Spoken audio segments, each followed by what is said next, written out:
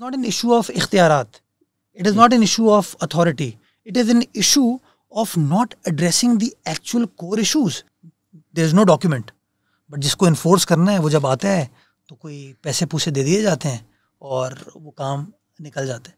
अच्छे लोगों को सियासत में भी आना होगा। अच्छे लोगों को पब्लिक सेक्टर में ब्यूरोक्रेसी में भी आना होगा। और पब्लिक एट लार्ज को जो गवर्नमेंट के वेल इंटेंशन वेल मीनिंग फैसले हैं ना, उनको बैक करना होगा। P T I is you know a light political party by the chattering class दस साल का बिगाड़ या बीस साल का, पचास साल का बिगाड़ जो है ना, आप एक शॉर्ट स्पैन में ठीक नहीं कर सकते।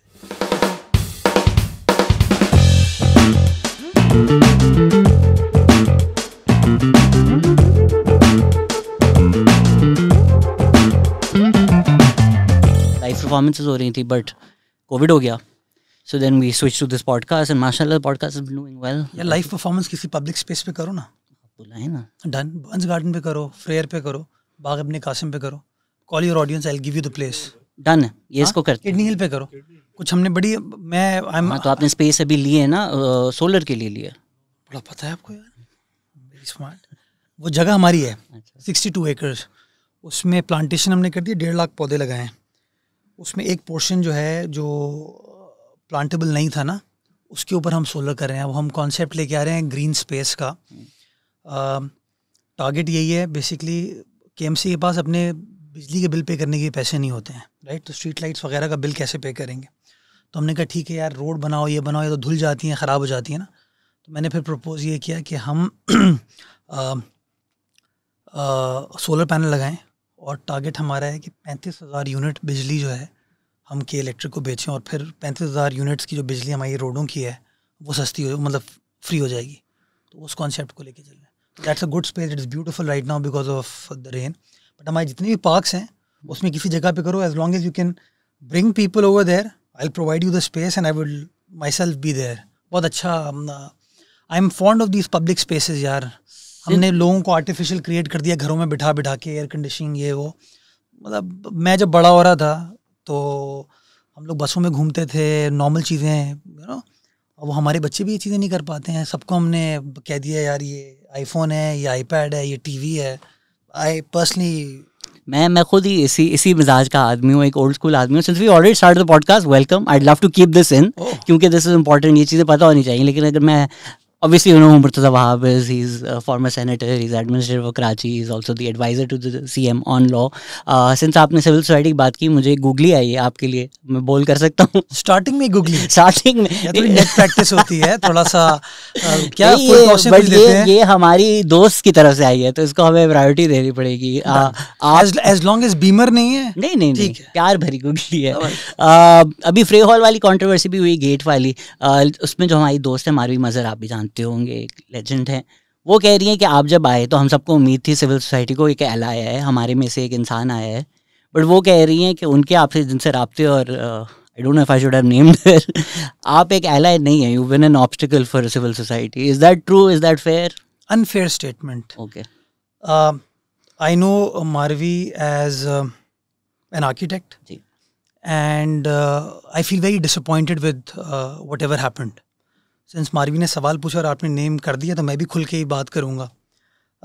रिलेशनशिप um, होती है ना तो it's a two way street and जब भी आप किसी रिलेशनशिप को असेस कर रहे होते हैं तो you based on past experience मैं आपसे पहली बार मिला हूँ मेरा आपका कोई रिलेशनशिप नहीं है। तो this is our first interaction आज जैसी इंटरेक्शन होगी then the relationship will build right हो सकता है मेरा शो कैंसिल हो जाए किडनी हिल पे सवालों के बाद Um, मारवी ने मुझे अप्रोच किया this is about three years ago, uh, she came to see me with um, a reference of a mutual friend. And she came to me and she said, Murtaza Saab, I've been struggling for the last many years to get the banyan trees of uh, Clifton declared as cultural heritage. I said, No problem. This is your issue, she said. I said, I will sort it out. मैंने immediately एक letter draft किया chief minister साहब के लिए। मैं उस वक्त environment का एडवाइज़र था चीफ मिनिस्टर का लॉ के साथ। और मैंने उसमें रिक्वेस्ट की, मैंने कहा, सर, ये इतने, तकरीबन कोई सेवेंटी फाइव वार्ड बरगद के दरख्त हैं। असासा है हमारे शहर का, इनको कल्चरल हेरिटेज डिक्लेयर कर दिया जाए अंडर फला फला law I took the document to the chief minister he was also very kind उन्होंने फ़ौरन उसको अप्रूव कर दिया। And that's how the relationship began उसके बाद उसने मुझे कहा कि मैं आ, इनको प्रोटेक्ट करना चाहती हूँ। मैं कहा done no problem the administration will help you I was not the administrator उस वक्त मैंने डी सी साउथ को कहा मैंने कहा जी आप सपोर्ट करें. डी एम सी साउथ को मैंने कहा सपोर्ट करें. यहाँ तक कि मैंने पर्सनली फाइनेंशियल लेवल पे because I saw it was a good cause मैंने कहा I will also support it that's how the relationship began and it was a very good thing that uh, marvi did and i was part of that. So the government hmm. worked with the civil society and achieved a good result. Um, और इस तरह चीज़ आगे बढ़ती गई। About two years ago Marvi ने मुझे एक और इशू आइडेंटिफाई किया which was again pertaining to Frere Hall उसने कहा कि फ्रेयर हॉल के चारों तरफ़ एक गार्डियन बोर्ड बनाया है उस वक्त के मेयर ने उसके चारों तरफ़ वो दीवार बना रहे हैं। और जिससे जो है एक्सेस पब्लिक की ख़त्म हो जाएगी। और उसको रोक देना चाहिए। मैंने कहा, आपकी बात सही है। बिल्कुल। मैं अपना जो भी गुड ऑफ़िस इस्तेमाल कर सकता था, मैंने सपोर्ट किया इवेंचुअली वी प्रिवेल्ड और वो दीवार वगैरह वहाँ पर नहीं बन पाई। इसलिए मुझे ज़्यादा दुख होता है इस एपिसोड पे कि मेरी और मारवी की रिलेशनशिप शहजाद और मुर्तज़ा वाली नहीं थी first time she knew who I was she knew my sentiments about public spaces तो जब ये फ्रेयर गार्डन पे हमने काम स्टार्ट किया तो मारवी रीच्ड आउट मी इससे पहले भी मारवी ने एक चीज़ की थी जिस पर मैं थोड़ा सा नाराज़ हो गया था उससे। रिलेशनशिप फिर हमारी कोई इतनी इंगेजमेंट नहीं रही। फिर किसी कॉमन फ्रेंड ने मुझे कहा कि यार नाराज़ नहीं होते यू नो तो इसी दौरान उसका मुझे एक मैसेज आ गया। एक संडे का दिन था। She sent me a message and she said मुर्सा साहब I need to speak to you I called up I said ji. She said I I feel कि शायद गार्डियन बोर्ड वाले वापस एक्टिव हो गए और वो वहाँ पे दीवार बना रहे हैं फ्लेयर हॉल पे। आपने पहले भी मदद की थी हमारी एक बार फिर हमारी मदद करें। तो मैंने मारवी को कहा कि नहीं गार्डियन बोर्ड तो अब एग्जिस्ट ही नहीं करता। ये के काम कर रही है और कोई दीवार नहीं बना रही है। गेट बना रही थी। गेट भी नहीं बना रही है। और मैंने कहा हम एक आर्च क्रिएट कर रहे हैं इसको और एक इंसिग्निया क्रिएट करना चाहते हैं ताकि लोगों को पता चले कि इसकी हिस्ट्री है क्या। आ, मारवी से बात ख़त्म होगी कहती है कि ओके आई फील कंफर्टेबल मैंने अपना फ़ोन चेक किया कि मेरे पास वो डिज़ाइन का मॉडल है या नहीं है। वो डिज़ाइन का मॉडल मेरे पास पड़ा हुआ था, वो मैंने मारवी को व्हाट्सएप भी कर दिया। व्हाट्सएप का जवाब आया मारवी का मुझे thank you very much I feel very relieved and Marvi को मैंने गिला किया। मैंने कहा before you you know base your opinion always have faith that there are good people in the government जो काम करना चाहते हैं and you should have more strength to have that faith why because you already dealt with that person and Marvi ने मुझे बड़ा अच्छा positive सा जवाब दिया। दो ढाई तीन घंटे बाद मारवी मुझे फिर मैसेज कर दिया कहते नहीं, ये तो कोई गेट बन रहा है। मैंने कहा, यार, अब मैं, एक हद तक किसी को कन्विंस कर सकता हूँ, समझा सकता हूँ, अगर कोई समझना नहीं चाहता, मैं क्या करूँ? एंड कॉन्वर्सेशन ख़त्म हो गई। फिर मुझे पता चला कि वो अदालत चले गए। अदालत में जाके उन्होंने केस अपना बिल्ड किया कि एडमिनिस्ट्रेटर के दीवार बना रहे हैं गेट बना रहे हैं फेंस कर रहे हैं इसको। और पब्लिक एक्सेस को ख़त्म करें फ्रेयर हॉल को। उसको एक प्राइवेट उसमें, ये लुबे लुबाब था उसमें लिखा हुआ पिटिशन में सूट में। तीनों बातें, चारों बातें गलत हैं। ना गेट बन रहे, ना दीवार खड़ी हो रही है, ना फेंस लग रही। है एक वो आर्च और वो बर्न्स गार्डन पे हमने किया है, अगर किसी को, मैं आपसे भी वो तस्वीर शेयर करूँगा, आप जाके बर्न्स गार्डन देख सकते हैं। एक ज़माने में किसी को पता नहीं था वो, सुप्रीम कोर्ट के बराबर में शाइन कॉम्प्लेक्स वाली साइड पे था, कोई रास्ता ही नहीं था उसकी एंट्रेंस का। वो हमने वहाँ रास्ता क्रिएट किया बर्न्स गार्डन 1927 लिखा। मुझे नहीं पता था एज कराची पूटा वहाँ पे एक ऑडिटोरियम भी है। जी जी जी बिल्कुल। हाँ। एक एक म्यूज़ियम है वहाँ पे एक बड़ा खूबसूरत टेरेस गार्डन है। आप मैं रिक्वेस्ट करूँगा आप आए वहाँ पे उसको देखें। मैं परफॉर्म भी कर चुका हूँ उस ऑडिटोरियम में फैंटास्टिक तो इसलिए आई वॉज़ स्लाइटली डिसअपॉइंटेड मैंने कोर्ट में केस को कंटेस्ट किया। मेरे ख़िलाफ़, चूँकि यूनिलैटरली इतने इल्ज़ाम लगा दिए गए थे सिविल सोसाइटी ने बहुत सारी और चीज़ें मारवी ने उसको लीड किया। तो I felt hurt why because I feel के I feel for the city I understand the city's problem और मैं गलती कर सकता हूँ, लेकिन मैं जानबूझ के कोई गलत काम नहीं करूँगा। बड़े लोग जो है ना, वो शायद यूनिवर्सल स्टूडियोज़ पे जाके तस्वीर खिंचवा सकते हैं। वो डिज़नी लैंड पे मोन्यूमेंट पे तस्वीर खिंचवा सकते हैं। वो मार्बल आज के सामने आके तस्वीर खिंचवा सकते हैं। गरीब आदमी जो है ना वो कराची जू के इंसिग्निया के नीचे तस्वीर खिंचवाता है खुश होता है उसके ऊपर। वो वो बर्न्स गार्डन आता है वो तस्वीर खिंचवाता है खुश होता है उसके ऊपर। तो Frere Hall is beautiful Frere Hall पे भी खिंचवा लें। कोई तो इंसिग्निया मैं, मैं तो कह रहा हूँ ना that did get taken down though right what was put up जो कंस्ट्रक्शन बनी थी वो stopped they got a unilateral order passed against stay मिला स्टे मिला वो मैंने ऑर्डर अपील में गया अपील में जाके the divisional bench of the high court was very kind उन्होंने उस ऑर्डर को सस्पेंड कर दिया। अब स्टेटस को है इसके ऊपर वो काम कंप्लीट नहीं हो पाया। इन द मीन टाइम मैंने कुछ और लोगों को देखा जिन्होंने प्रोटेस्ट किया था। I reach out to those architects मैंने आर्किटेक्ट्स को ये दिखाया कि मैं कर क्या रहा हूँ। They was stunned and because आपने नाम लेके कहा है तो मैं बड़ा कैटेगोरिकली आपको कह रहा हूँ they was stunned they said we were told कि आप यहाँ पे दीवार बना रहे हैं। वी वर टोल्ड कि यहाँ पे फेंसिंग की जा रही है वी वर टोल्ड गेट बन रहे हैं एंड वी वर टोल्ड कि पब्लिक एक्सेस को ख़त्म कर दिया जाएगा and I told those people I said you know all four things are incorrect not true at all and that's not the intention of K M C and I still mean it and I still feel कि इस तरह की कोई चीज़ ना हुई है ना होगी और as long as I am there इनशाला public spaces will continue to remain public spaces. That's very reassuring to hear. Marvi is not here, so एक स्पेसिफिक इशू पे हम आ गए मैं, मैं मारवी आ जाए। तो फिर उनसे भी उनका ओपिनियन भी हम ले लेंगे। I would love to have Marvi on the podcast as well बहुत जब मैंने आपका तस्वीर रखी लोगों ने पूरी दुनिया के सवाल पूछ लिए तो मैं आज चाह रहा हूँ कि थोड़ा स्पेसिफिक कराची के बारे में बात हो। एज एन एडमिनिस्ट्रेटर हमें हमेशा बताया जाता है कि जी कराची एक लावारिस शहर है आ, कुछ थर्टी फाइव यूनियन काउंसिल्स हैं डी एम सी मेरे ख्याल से पाँच हैं या सात हैं? आप सवाल पूछे मैं सारे जवाब देता हूँ। तो आपके अंडर एग्जैक्टली exactly आता कितना कराची है? अच्छा मैं शहजाद थोड़ा सा डाइग्रेस शायद करूँ बट मैं समझता हूँ कि प्रॉब्लम को समझने के लिए या प्रॉब्लम का हल तलाश करने के लिए प्रॉब्लम को समझना ज़रूरी है। आप डॉक्टर को जब तक बताएँगे नहीं मुझे तकलीफ़ किया डॉक्टर आपको एडवाइस नहीं कर सकता। So the crux of the matter is के पीपल नीड टू अंडरस्टैंड कि इशू है क्या। कराची शहर के मेरे हिसाब से तीन चार मोटे मोटे इशूज़ हैं। पहला इशू कराची शहर का है, चूँकि आपने सवाल में पूछा, वो है मल्टीपल जुरिस्डिक्शंस का। कराची शहर में जो प्रीवियस सिस्टम था हमारा लोकल गवर्नमेंट सिस्टम जिसमें वसीम अख्तर साहब मेयर थे, उसमें कराची शहर में एक के थी, और के के नीचे, या के के साथ पैरल एक और अदारा है, जिसको कहते हैं डिस्ट्रिक्ट म्यूनसिपल कॉरपोरेशन सात डी थी राइट दोनों का सेपरेट सिस्टम था सेपरेट जूरिस्डिक्शन थी। ये हो गए आपके नॉर्मल सिविलियन एरियाज़ कह लें या लेट सेसन गवर्नमेंट के अंदर चलने वाले। उसके बाद कराची शहर के अंदर छः कंटोनमेंट बोर्ड्स हैं। कराची शहर के अंदर K P T port Qasim railways और लैंड ओनिंग एजेंसीज़ जो कि अपने एरिया को कंट्रोल करते हैं और रेलवेज़ भी। तो इस तरह एक 18-19 एंटिटीज़ हैं जो कराची शहर में ऑपरेट करती हैं। इसका मैं आसान आपको एक एग्ज़ाम्पल देता हूँ समझाने के लिए। शार Faisal.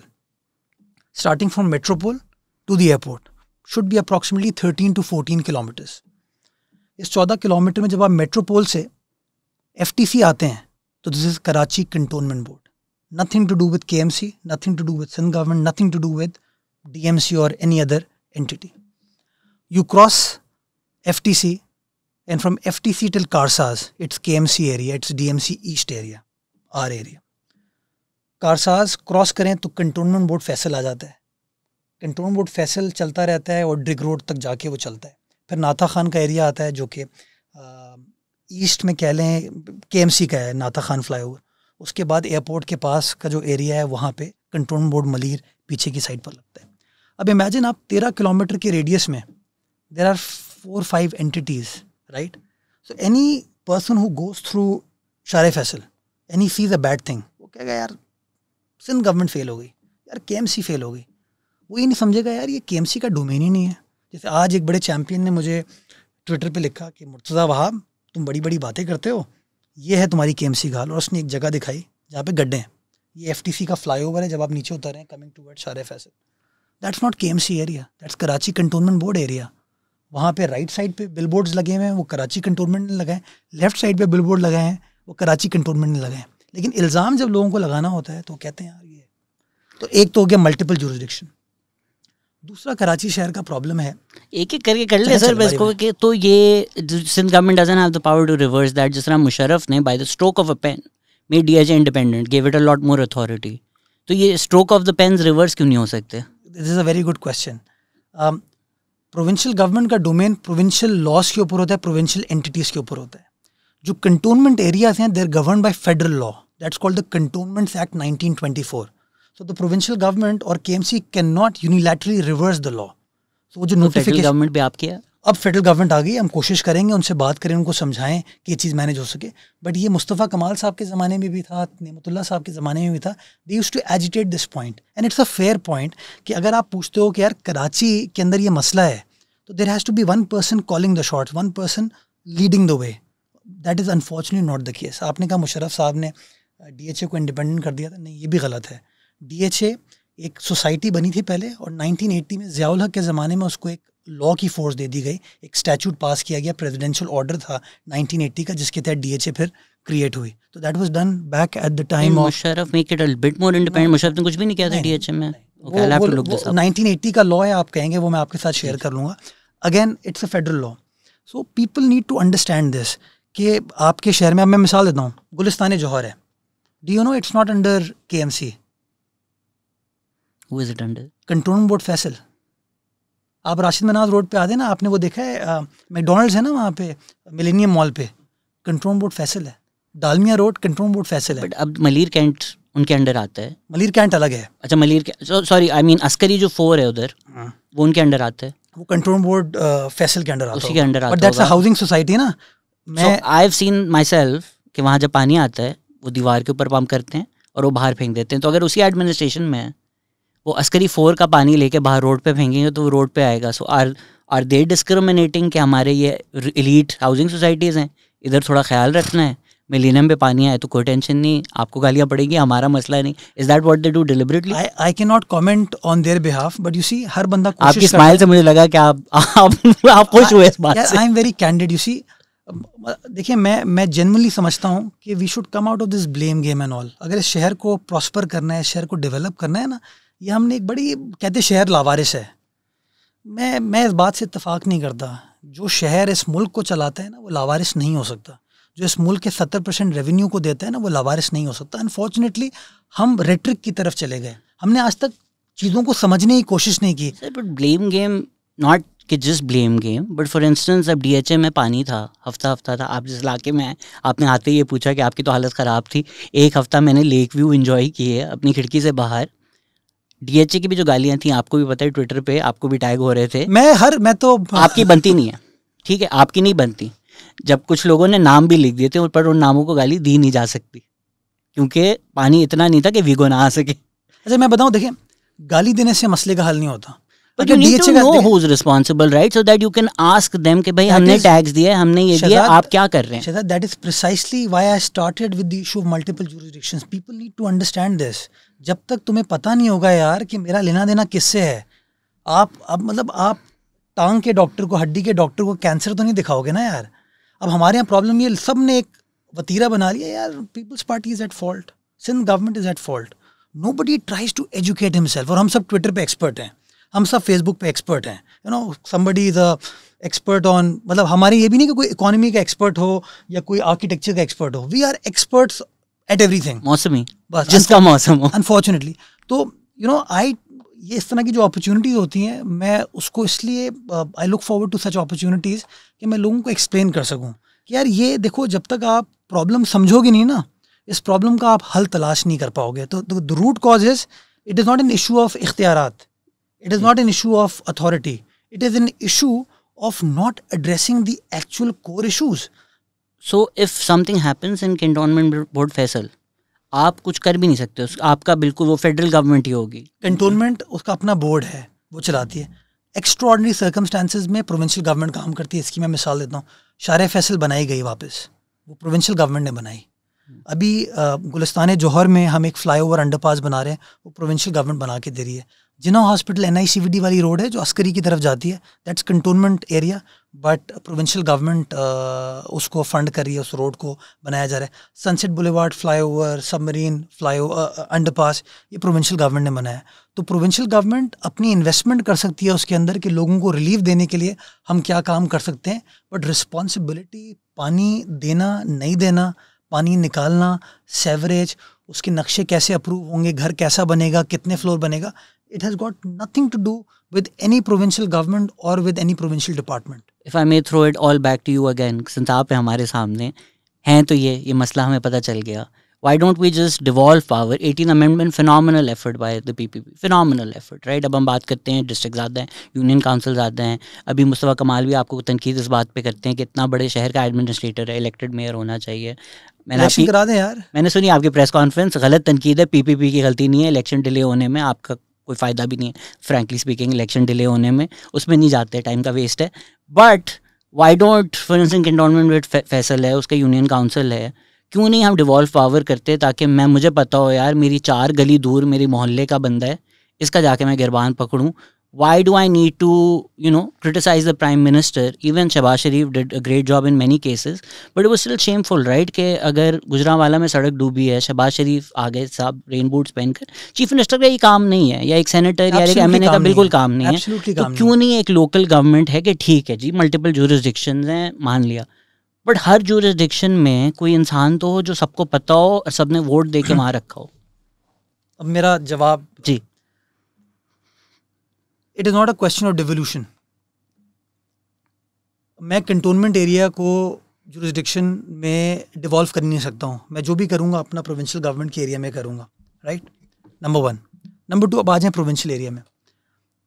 प्रोविंशियल के के डोमेन में there are two hundred forty five union committees उस यूनियन कमेटी ने यूनियन कमेटी वन से शहजाद को इलेक्ट कर दिया। यूनियन कमेटी टू से मुर्तज़ा वहाब को इलेक्ट कर दिया। अब्दुल्ला को यूनियन कमेटी थ्री से इलेक्ट कर दिया। ये बनते हैं चेयरमैन और उनका पूरा एक कैबिनेट बनती है चेयरमैन वाइस चेयरमैन काउंसिल वो इलेक्ट होकर आते हैं, जिनका बुनियादी काम है ये। प्रॉब्लम ये होती है कि हमने आसान रास्ता निकाल लिया कि यार मेरे पास तो इख्तियार ही नहीं अब सड़क बनाना, इख्तियार किसका है? के का है डीएमसी का है, उन यूसीस का है, उनके डोमेन के अंदर रहते हुए। पार्क बनाना उनका डोमेन है, सफ़ाई करना उनका डोमेन है राइट वो क्यों नहीं काम कर पाते? वो इसलिए काम नहीं कर पाते, शहजाद, कि उनके पास पैसे नहीं हैं। उनके पास पैसे क्यों नहीं हैं? वो पैसे इसलिए नहीं है कि हम सबने ईजी वे आउट हमेशा निकाला। हमने कहा, यार, मैं प्रोविंशियल गवर्नमेंट से पैसे मांग लूँगा, मैं फेडरल गवर्नमेंट से पैसे मांग लूँगा, मैं फ़लाँ इदारे से पैसे मांग लूँगा। कभी भी किसी मेयर ने, कभी किसी यूसी के चेयरमैन ने टाउन के चेयरमैन ने डीएमसी के चेयरमैन ने अपनी फ़िज़िकल स्पेस बढ़ाने की कोशिश ही नहीं की। क्यों? कि उनको ईजी वे आउट था। नेमतुल्ला साहब का टाइम अच्छा टाइम था लोग कहते हैं ना। या मुस्तफ़ा कमाल साहब का लोग कहते हैं अच्छा टाइम था। For the sake of argument मैं मान लेता हूँ। उस ज़माने में they were getting money from the federal government they were getting money from the provincial government as well हुआ क्या?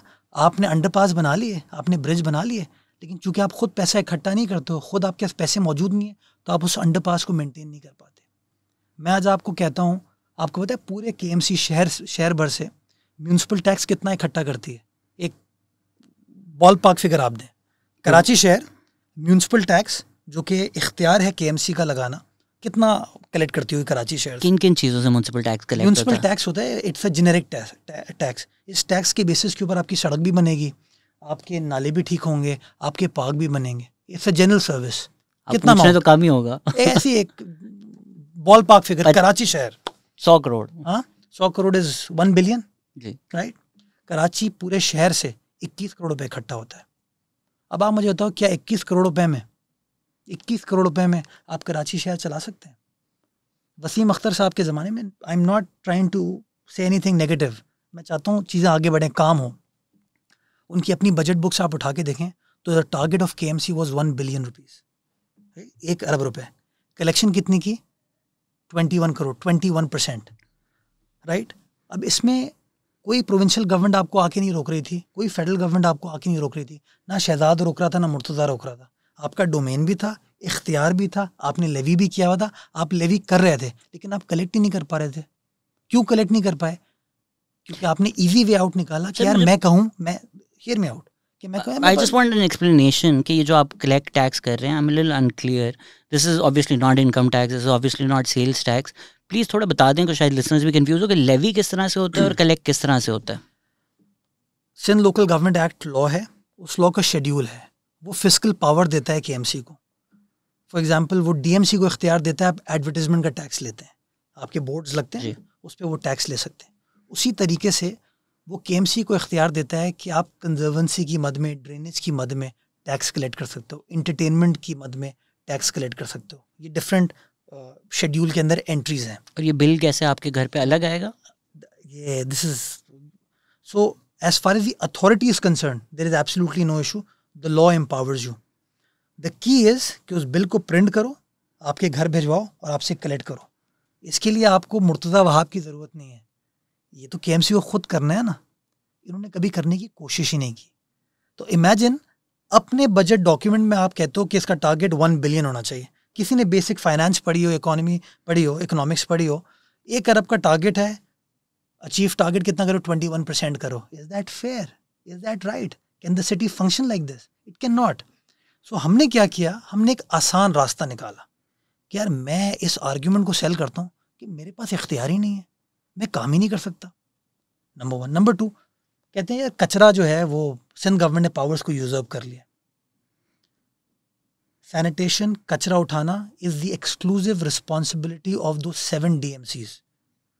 C east D M C south D M C Korangi D M C Malir D M C central D M C west D M C Kemari ये सात D M seize हैं कराची शहर की उनका domain है ये वो कचरा उठा नहीं पाती वो D M Cs by way of their resolution वो कहते हैं हम सिंध सॉलिड वेस्ट की मदद मांग रहे हैं कि वो हमारी मदद करे और आके हमारे बिहाफ पर कचरा उठाए नाउ डीएमसी ईस्ट के अंदर एमक्यूएम थी। उनके, वहाँ के डीएमसी के चेयरमैन ने कहा, यार, मैं नहीं उठा सकता कचरा please help me out DMC south में पीपल्स पार्टी थी। हमारे चेयरमैन ने कहा कि जी, आप, अब ये आर्ग्यूमेंट क्या सेल करते हैं? कि उन्होंने कचरा उठाने के इख्तियार भी आपके इलेक्टेड लोकल गवर्नमेंट से ले ली wrong factually incorrect if you want I can share those documents with you कि जी, फला दौर में, फला दौर में, फला दौर के अंदर इन लोगों ने खुद उस पावर को हवाले किया। So it's not a question of the authority not being there the authority was there they fail to apply the authority in an appropriate manner they fail to deliver और उसका वे आउट उन्होंने निकाला कि जी हम provincial government को request करते हैं। और फिर आके टीवी पे कहते हैं प्रेस कॉन्फ्रेंस में कहते हैं कि हमारे पास इख्तियार नहीं है। So D M C is elected is there are three tiers Karachi के अगर परस्पेक्टिव से बात करें basic tier is union committee those are elected. Elected. Directly elected by the जी, people जी, of the city. Then union committee का एक chairman elect होता है और एक वाइस चेयरमैन इलेक्ट होता है। ठीक है। जो चेयरमैन इलेक्ट होता है वो बन जाते हैं केएमसी की काउंसिल का मेंबर। ठीक है। ठीक है? और जो वाइस चेयरमैन होता है वो बनता है प्रीवियसली डीएमसी का मेंबर और अब जो नया सिस्टम आया उसके अंदर टाउन्स हमने बना दिए। सात डीएमसी की जगह we now have twenty five twenty six towns तो वाइस चेयरमैन जो है वो टाउन की काउंसिल का हिस्सा बन जाएगा। तो ये तमाम लोग जो हैं ये इलेक्टेड होते हैं।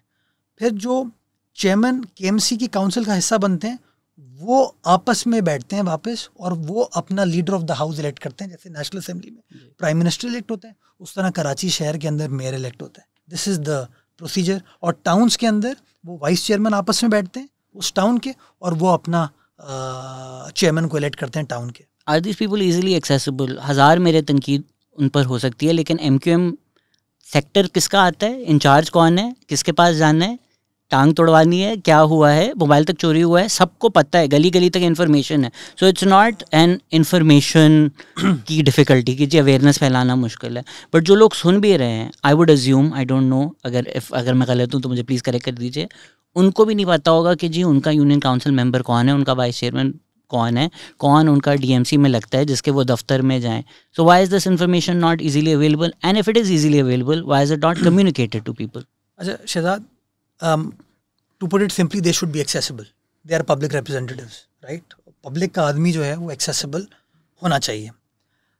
मेरा अपना मानना ये है कि जितना भी लूला लंगड़ा हो जो पब्लिक का वोट लेके आता है ना उसको एक शर्म होती है कि हाँ यार मुझे पाँच साल बाद वापस जाना है इनके पास। शायद उसके लाइक्स डिसलाइक्स उसने favourite disability as an insult sorry using disability as an insult is disability sorry किसी को लूला लंगड़ा बोलना ओह sorry oh I am very sorry ये मैं वो आई वेरी सॉरी जितना मोइन अख्तर बोलते हैं कि थोड़ा इधर उधर हो जाता हूँ गलती से हो जाते हैं मुझसे भी ये गलतियाँ हो जाती हैं। लूज टॉक हो गई। बिल्कुल बिल्कुल। I am sorry wrong statement I stand corrected I respect you for saying that so जैसा भी है वो यूनियन कमेटी का चेयरमैन हो टाउन में हो मेयर हो या M P M N A हो जो पब्लिक का वोट लेके आता है मैंने खुद इलेक्शन लड़ा मैं हार गया राइट लेकिन जिन लोगों ने मुझे वोट दिया है उनके लिए मेरी आँख में शर्म है। वो मुझे अगर कहते हैं कि जी हमारा पुलिस का मसला है तो आई फील इंडेटेड कि हाँ यार मुझे काम करना है। वो अपना अस्पताल का मसला कहते हैं आई फील इंडेटेड कि हाँ यार काम करना है। मैं खुद दफ्तर में बैठता हूँ। इट्स नॉट लाइक कि मैं अपने घर से ऑपरेट कर रहा हूँ। चाहे वो प्रोविंशियल गवर्नमेंट का मेरा ऑफ़िस हो, चाहे मेरा के का ऑफ़िस हो आई मेक श्योर कि मैं ऑफ़िस में बैठूँ। तो येस आइडियली बैठना चाहिए। अब वो उसमें लोगों के अपने माइंडसेट हो सकते हैं कि कितने लोग चाहते हैं कि यार मैं उस तरीके से एक्सेसिबल हूँ और किस तरीके से एक्सेसिबल ना हो। तो it depends on person to person but मैंने जनरली देखा है कि जेनुअन पॉलिटिकल लोग जो जेनुअन वोटों के साथ आए हैं उनके अपने पॉलिटिकल बेसिस होते हैं वो बैठे हो सकते हैं। उनके लाइक्स डिसलाइक्स इस तरह हो सकते हैं शहजाद कि वो कहते हैं यार यहाँ से मुझे ज़्यादा वोट मिला मैं यहाँ ज़्यादा फोकस करूँगा। यहाँ से मुझे वोट नहीं मिला मैं यहाँ इतना फोकस नहीं करूँगा। कुछ लोग होते हैं कि यार जहाँ से मुझे वोट नहीं मिले मुझे और ज़्यादा फोकस करना चाहिए ताकि अगली बार मुझे इस एरिया से भी वोट मिले। So it depends on person to person so I feel ideally yes they should be accessible and my personal view is कि anyone whose come with votes he has share in his eyes और वो कहता है अभी अगर कोई सुन रहा है वो बैठा है पीसीएचएस में सॉरी एक बात मैं वो कहीं गूगल कर सकता है कि मैं कहाँ जाऊँ? हाँ मैं एक आप कहते हो ना कि उनको नहीं पता चलता कि उनको कहाँ जाने की ज़रूरत है। इसमें फिफ्टी परसेंट आप गलती सिस्टम की बना सकते हैं कि यार शायद उन लोगों ने अपने आप को उस तरीके से प्रोजेक्ट नहीं किया। लेकिन फिफ्टी परसेंट मैं पब्लिक की भी गलती कहूँगा ना कि पब्लिक को भी तो चेक करना चाहिए कि हाँ यार मेरा वार्ड कौन सा है, मेरी यूनियन कमेटी कौन सी है। वो हम अनफॉर्चुनेटली चेक नहीं करते। हमने आसान तरीका क्या बनाया हुआ है? यार पासपोर्ट बनवाना है तो कोई एजेंट होगा उसके थ्रू बना लेंगे। बर्थ सर्टिफिकेट बनवाना है, किसी उसके थ्रू बना लेंगे। तो थोड़ा सा मैं समझता हूँ हमें वो करने की ज़रूरत है। इन्फॉर्मेशन गूगल पे अवेलेबल होती है। अगर आप लेट से आज के की वेबसाइट पे जाएँ तो आपको के की तमाम इन्फॉर्मेशन मिल जाएगी। इनफैक्ट मैं जब के में आया मैंने एक और काम किया। मैंने के के जो एसेट्स हैं ना उनको पब्लिक कर दिया कि के की दुकानें हैं कराची शहर में तकरीबन कोई नौ साढ़े नौ हज़ार। तो वो nine and half thousand shops की detail are available on the website किसको वो दुकान मिली हुई है किस रेंट पे मिली किस तारीख को मिली थी वो भी हमने डाला हुआ है। कितने पार्क्स हैं के के पास कितनी हमारे हट्स हैं समंदर पे, वो कितने हट्स हैं हमारे पास, वो किसको दिए हुए ये तमाम डिटेल्स हमने वेबसाइट पे डाली हुई हैं। और डी की भी आई बिलीव वेबसाइट्स हैं, बट ये जो बेसिक टेयर यूनियन कमेटी, इनकी भी मैं समझता हूँ वेबसाइट्स होनी चाहिए। और ऑनलाइन इंगेजमेंट सर आप लोगों को फंसवा देंगे कि बीच हट कितने घंटों के लिए किसको दिया गया? ये इन्फॉर्मेशन देख के तो शायद कुछ लोग फंस सकते हम, हैं। हम हम ये बताते हैं कि वो hut number so and so Shahzad Ghayas को इस तारीख को हमने दिया वो एक साल की लीज अच्छा, होती है। शहजाद गयास ने किसको दिया है वो? चले शुक्र ऐसा तो नहीं कि सत्ताईस की रात को चार बजे से छह बजे तक शहजाद गयास ने रेंट किया we respect people's privacy sir ये तो आप कहेंगे ये मिस नोमर है कि जी पावर डिवॉल्व नहीं की हुई लोकल गवर्नमेंट्स नहीं बनाई हुई। Is that a misnomer या कुछ. शहर के लोग भी जालिम सन कुछ सानू भी मरन शौक थोड़ा है कि लोकल गवर्नमेंट नहीं है। मैं मैं, मैं फेयर आदमी हूँ और मैं क्रिटिसिज्म को भी फेस करता हूँ लेकिन जहाँ गलत क्रिटिसिज्म होता है उसको डिफेंड भी करता हूँ। तो कुछ तो मैंने आपको बता दिया चीज़ें हैं कुछ चीज़ें नहीं हैं।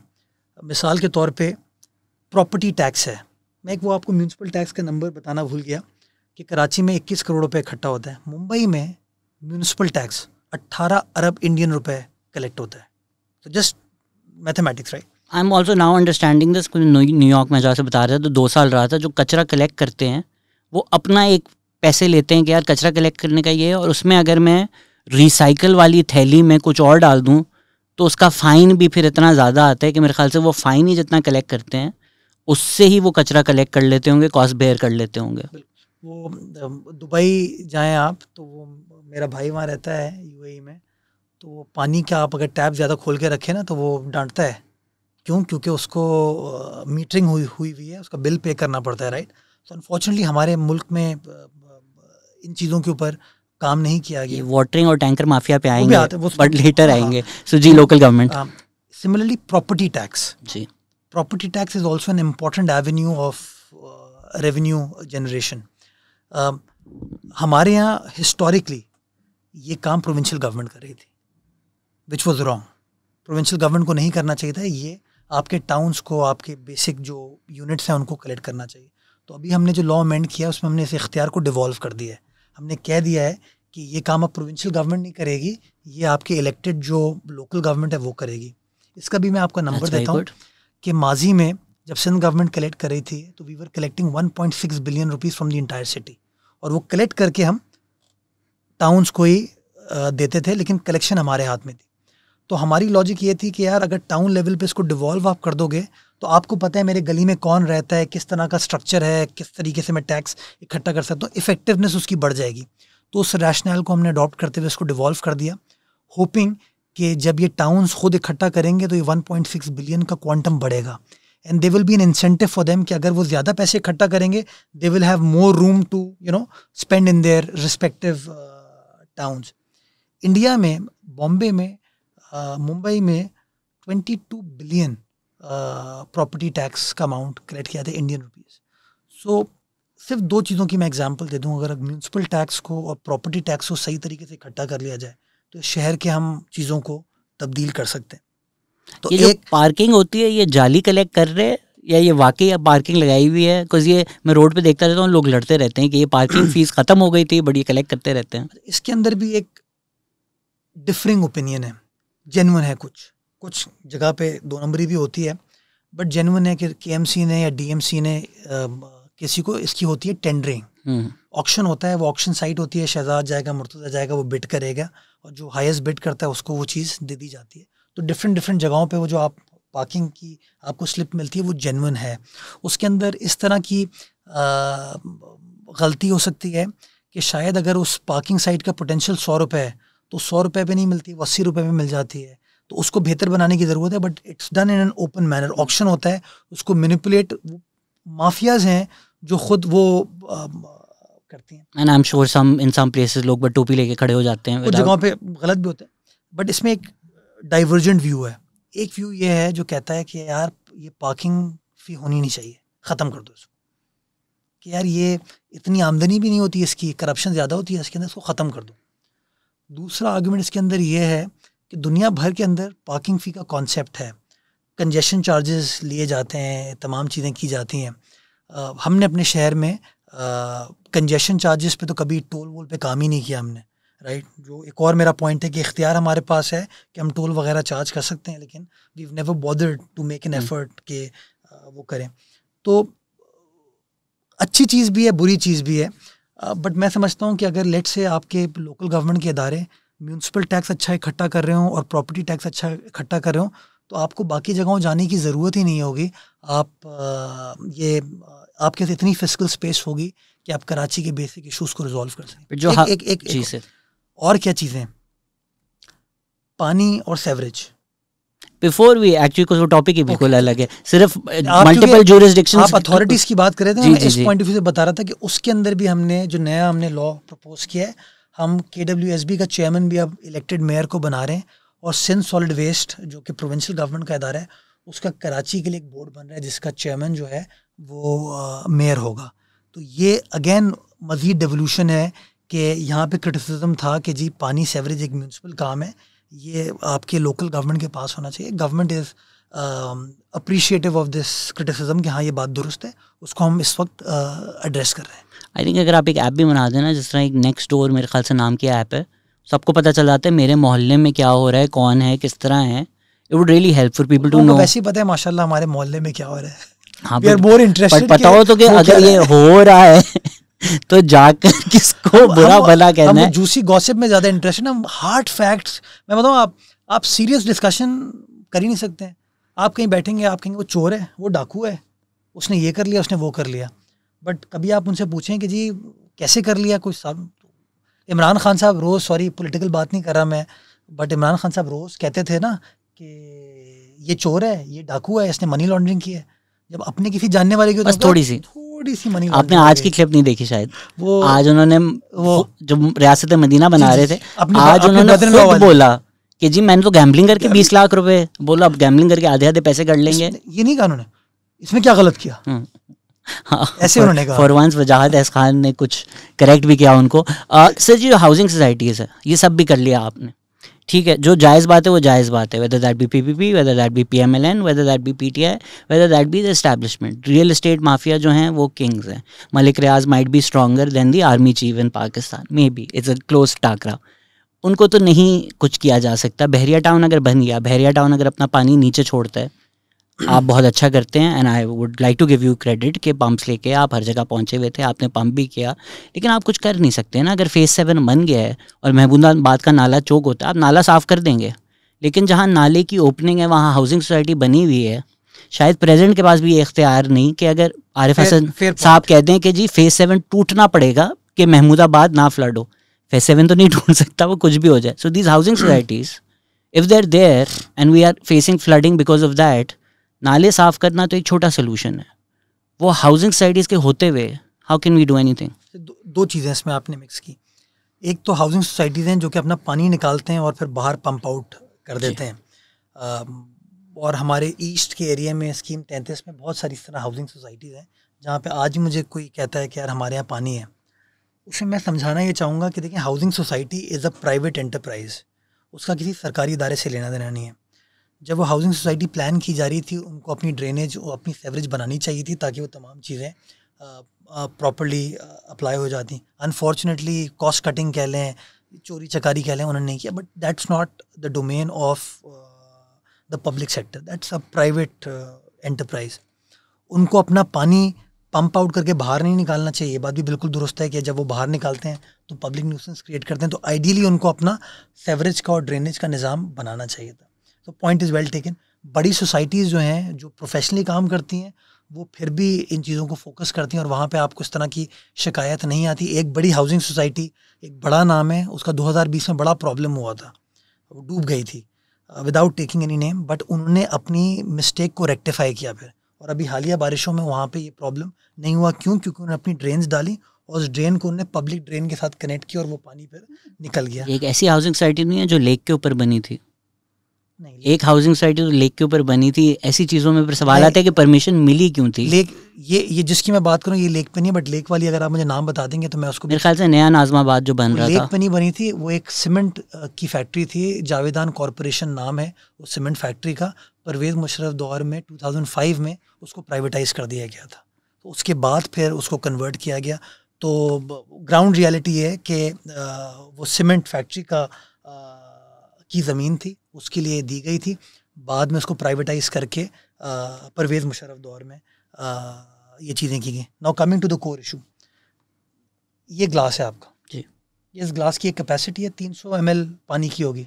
ज़्यादा पानी आएगा तो ज़्यादा ज़्यादा बारिश होगी तो साहब ने बिल्कुल सही कहा था बट अनफॉर्चुनेटली लोगों ने उसको तो इसके थोड़ा वो बेहस तरीका है ना कि लोग डूब रहे हैं और आप कह रहे हैं कि ज़्यादा पानी may be not the right time to say that factually correct बात थी बट द रॉन्ग टाइम यार पता है क्या वो हम पीपल्स पार्टी वाले तो मेरे ख्याल में अगर दुआ भी कर रहे होंगे ना आपके साथ बैठ के तो लोग कह लेंगे पीटीआई वाले कि यार ये गलती की है उन्होंने बट अब देखे ना अगर अर्थ को एक आ गया और बिल्डिंग गिर गई और लोग मर गए और हुक्मरान के ज़्यादा ज़मीन हिलेगी तो ज़्यादा building गिरेंगी। It's not the right time to say something like let me let me explain my point of view तो दिस इज़ द ग्लास जी सर ये 300 ml है। जी जी. इसमें 500 ml डालूँगा तो 200 ml स्पिल ओवर हो जाएगा राइट फैक्चुअली ये बात दुरुस्त है। बिल्कुल दुरुस्त कराची शहर के नाले हैं कोई तकरीबन साढ़े पाँच सौ five forty approximately three are big nullahs and उसके बाद फिर साइज़ छोटे होते जाते हैं। उन नालों का काम है कि वो सारा पानी उठाएँगे और वो पानी उस ड्रेन के ज़रिए थ्रू नेचुरल ग्रेविटी वो जाएगा समंदर की तरफ़, ठीक है? मैंने ऑन ग्राउंड खुद पिछले एक साल में चूँकि काम किया, मैंने देखा कि उन नालों ने अच्छा परफॉर्म किया उन्होंने अच्छा काम किया, उन नालों से पानी निकला। बट नाले की कैपेसिटी जितनी होगी वो पानी उतना उठाएगा।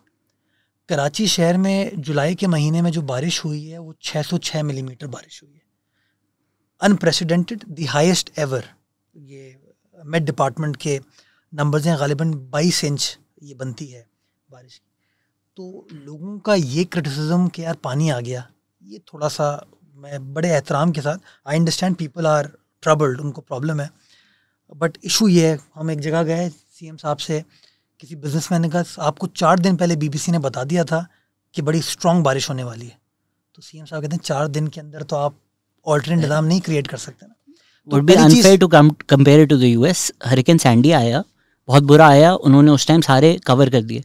बट अब उनको पता था ये चीज़ आ सकती है। जब 2020 में जो हुआ दो साल ले लें चार दिन मत लें मैं जवाब सबको पता था कि ये फिर होगा जिससे भी पूछ लें again I Arif Hasan Sahab on the podcast he said ये अगले साल हुई बारिश उससे अगले साल हुई होगा यही। सबको यकीन था कि यही होगा। पॉइंट इज़ टेकन सर जी सर जी सर। अब आप मुझे बताइए मैं एक सवाल आपसे पूछता हूँ कि ओल्ड सिटी एरिया है हमारा खरादर है लियारी है। वहाँ पे आप नाला कैसे बनाएँगे? How would you do it there is no space the city unfortunately has developed in such an unplanned manner कि आप क्या करेंगे? आप वो बिल्डिंग्स को गिराएँगे लोगों को बेघर करेंगे।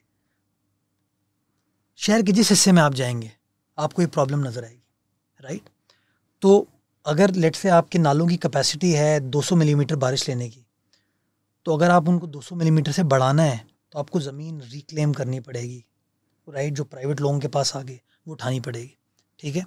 That has a cost eminent domain sir sorry eminent domain में आप कर सकते हैं। नहीं कर तो सकते हैं बट उसकी कॉस्ट है। आई विल हैव टू अभी गुजर नाले पे जो चीज़ हुई उसमें तो ज़्यादती हो रही है। नहीं नहीं मैं वही आपको कह रहा हूँ उसमें दो पॉइंट ऑफ़ व्यूज़ हैं। एक पॉइंट ऑफ़ व्यू उन लोगों का है जो कहते हैं कि बहुत ज़्यादती हुई। एक पॉइंट ऑफ़ व्यू उन लोगों का है जिनके घरों में पानी गया और सारा ब्लेम गुज्जर नाले पे डाल दिया गया। मैं ये नहीं कह रहा कि सिर्फ़ गुज्जर नाले की वजह से हुई। उन्होंने कहा नहीं इन नालों को थ्रू होने की ज़रूरत है। तो सर मैं वही कह रहा हूँ ना, गुज्जर नाला के घर टूट सकते हैं फ़ेज़ सेवन के घर नहीं टूट सकते even though the maps clearly show us कि महमूदाबाद नाले का चौक फ़ेज़ सेवन में होता है। गुज्जर नाले के टूट सकते हैं, उसमें फिर अगर हम डिटेल्स में नहीं जाते वर्ल्ड बैंक के जो नंबर्स हैं दे डोंट मैच द पे आउट्स उन्होंने जो स्कैन किया एक एक घर में बारह बारह तेरह तेरह लोग रहते थे, लेकिन जो उन्होंने नंबर आसमान से ड्रोन से, जिस तरह रेड क्लिफ अवार्ड दिया जाता था कॉलोनाइजर उनको तो हम बोल सकते हैं कि जाले में हम पर। बट हमारे अपने लोग के अच्छा यार इस घर के एक बंदे के दो बंदे के ले जाते जबकि तीन तीन चार चार फैमिलीज़ वहाँ रह रही थी। तो अच्छा। गुज्जर नालों के साथ बेचारों के साथ बहुत ज़्यादा हुई great respect point is well taken अगर किसी को उसका मुआवजा नहीं मिला ये गलत है। और उसको मुआवजा मिलना चाहिए अगर उस प्रॉपर्टी पे लेट से चार लोग रहते थे चार फैमिली रहती थी चार डिफरेंट यूनिट्स हैं उनके उनको बिल्कुल उस यूनिट के हिसाब से पैसे मिलने चाहिए। um, आया उसकी डिमार्केशन सही हुई, नहीं हुई, वो मैंने नहीं की, वो एक्सपर्ट्स बैठे थे, उन्होंने वो काम किया। मेरा वो इंजीनियरिंग वाला काम नहीं है। मैं आपको प्रॉब्लम बता रहा हूँ कि जब आपको उसकी कैपेसिटी को इन्हेंस करना पड़ेगा तो इस तरह की भी ह्यू एंड क्राई आएगी, जो कि एज अ स्टेट आपको फिर देखने की ज़रूरत है। तो प्रोविंशियल गवर्नमेंट ने क्या किया? सर उसमें गरीबों के पे क्यों होता है हमेशा? अमीरों के साथ ये क्यों नहीं होता? अगर फ़ेज़ एट पे जो लैंड रिक्लेम हुआ है, जिसकी वजह से we put Karachi at risk अगर कल को आपको इमार तोड़ना पड़े तो नहीं होगा ना हमें पता है लेकिन गुजर नाला टूट सकता है। दैट्स द दैट्स द ये ये ये इन हम कॉन्वर्सेशन में डिस्कोर्स में बैठे मैं बिल्कुल इस बात से अग्री करता हूँ कि मैं तो as a student of law समझता हूँ law should be applied fairly and squarely absolutely कोई डिस्क्रिमिनेशन नहीं होनी चाहिए और एक पाकिस्तान होना चाहिए गरीब अमीर सब पे स्क्वायरली ये अप्लाई करना चाहिए इसमें मेरा कोई डिफरेंस ऑफ़ ओपिनियन नहीं है absolutely point is well taken अब प्रोविंशियल गवर्नमेंट ने क्या फ़ैसला किया? प्रोविंशियल गवर्नमेंट ने कहा, यार, नालों की सफ़ाई करें। तो आपके जो पाँच सौ, साढ़े पाँच सौ नाले थे, उनकी सफ़ाई की गई।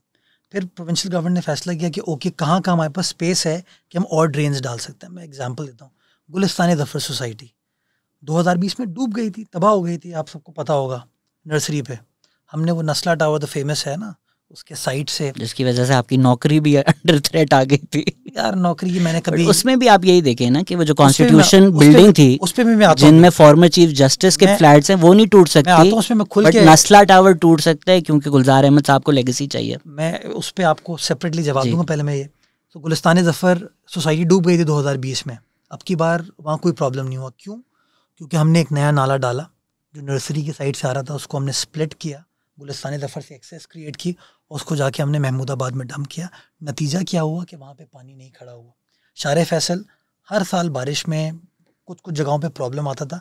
अब की बार सिर्फ़ जो आपकी नर्सरी नर्सरी एक फ़र्स्ट बारिश जो थी वो पहली बारिश में होता क्या है कि पहली बारिश से पहले मट्टी हर जगह कचरा जम जाता है तो पहली बारिश में वो थ्रू होने में टाइम लगता है।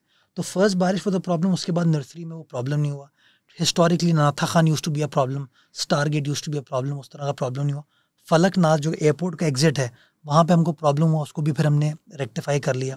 Credit credit is due even on the first बारिश शार फैसल सुबह तक क्लियर था। मैंने देखा आप रात भर भी थे Shahrah Faisal was clear in the morning ये मैं खुद आपको टेस्टिफाई कर सकता हूँ। यार मैं नहीं शहजाद मैं बताऊँ credit goes to those municipal workers मैं बार बार कहता हूँ कि अगर मैं रात को तीन बजे बाहर था ना तो वो बेचारे मेरे ख्याल में पाँच बजे तक बाहर थे। मतलब hats off to this people हम सिर्फ़ तनकीद करते हैं क्रिटिसाइज़ करते हैं।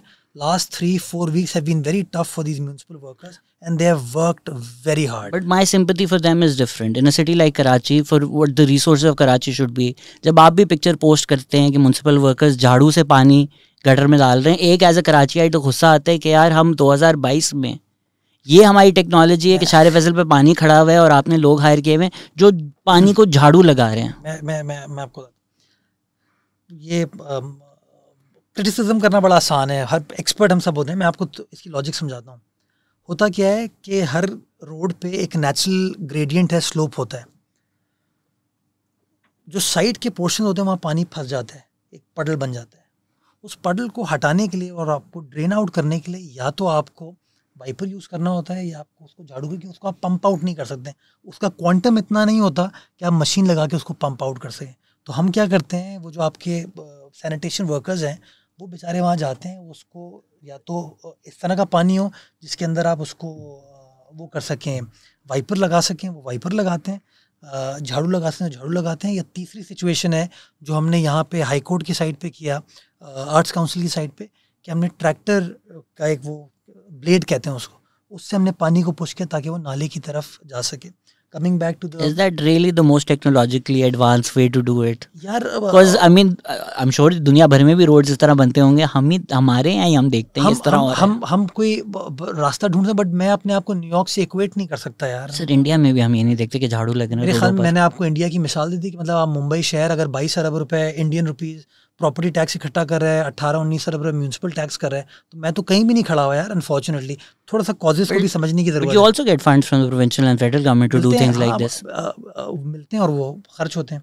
Nagan Chowrangi used to be a chronic issue every year आप जाके देखिए नई ड्रेन डाली प्रोविंशियल गवर्नमेंट ने डाली water went through all the way into Gujjar Nala K D A Chowrangi used to be a problem it wasn't a problem this time around historically Wazir mansion used to be a problem old city area में cloth market में, आपको याद होगा 2020 में, मुझे आज भी याद है, आशूरे का जो जुलूस था, वो नौ मुहर्रम को गुजरना था, पानी पानी था।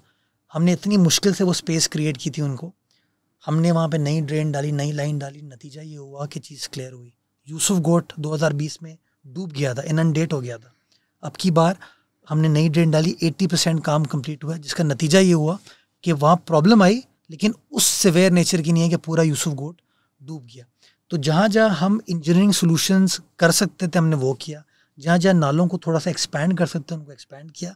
जहाँ नालों की बेहतर सफ़ाई कर सकते थे, हमने वो किया। एक और चीज़ हमने ये की शहजाद कि माजी में नाले साफ़ होते थे किस तरह कि कॉन्ट्रैक्ट किसी बंदे को मिल गया, वो गया, उसने नाला साफ़ किया, उसको पेमेंट हो गई, वो चला गया। उसके बाद फिर कचरा आगे ऑन गोइंग है। तो हमने टेक्नोलॉजी चेंज किया। हमने कहा कॉन्ट्रैक्ट नाला साफ़ करने का तीन महीने का देंगे। पहली जुलाई से स्टार्ट होगा थर्टी सितंबर तक आपको नाला, आपकी ज़िम्मेदारी इसको साफ़ करना, आपको मशीनरी वहाँ रखना होगा, सब कुछ करना होगा। और आपको मैं पेमेंट तब करूँगा जब आप अपने कचरे को जो आप वेस्ट निकालोगे उसमें से, उसको आप लैंडफिल साइट पे आके डम करोगे, वहाँ पे हमारी वेइंग सिस्टम है पूरा। NESPAK which third party organisation nothing to with provincial government वो उसको इंस्पेक्ट करके ऑडिट करेगी कंफर्म करेगी थर्ड पार्टी वेरिफिकेशन होगी, उसके बाद आपको पेमेंट की जाएगी। तो उसने बड़ा इम्पैक्ट आया। कॉस्ट भी हमारी कम हुई और मैंने ख़ुद नालों को चलते हुए देखा ज़बरदस्त तरीके से। कुछ जगहों पे नालों के ऊपर इनक्रोचमेंट बड़ी ख़तरनाक हो गई। मैं आपको न्यू कराची की मिसाल दूँगा।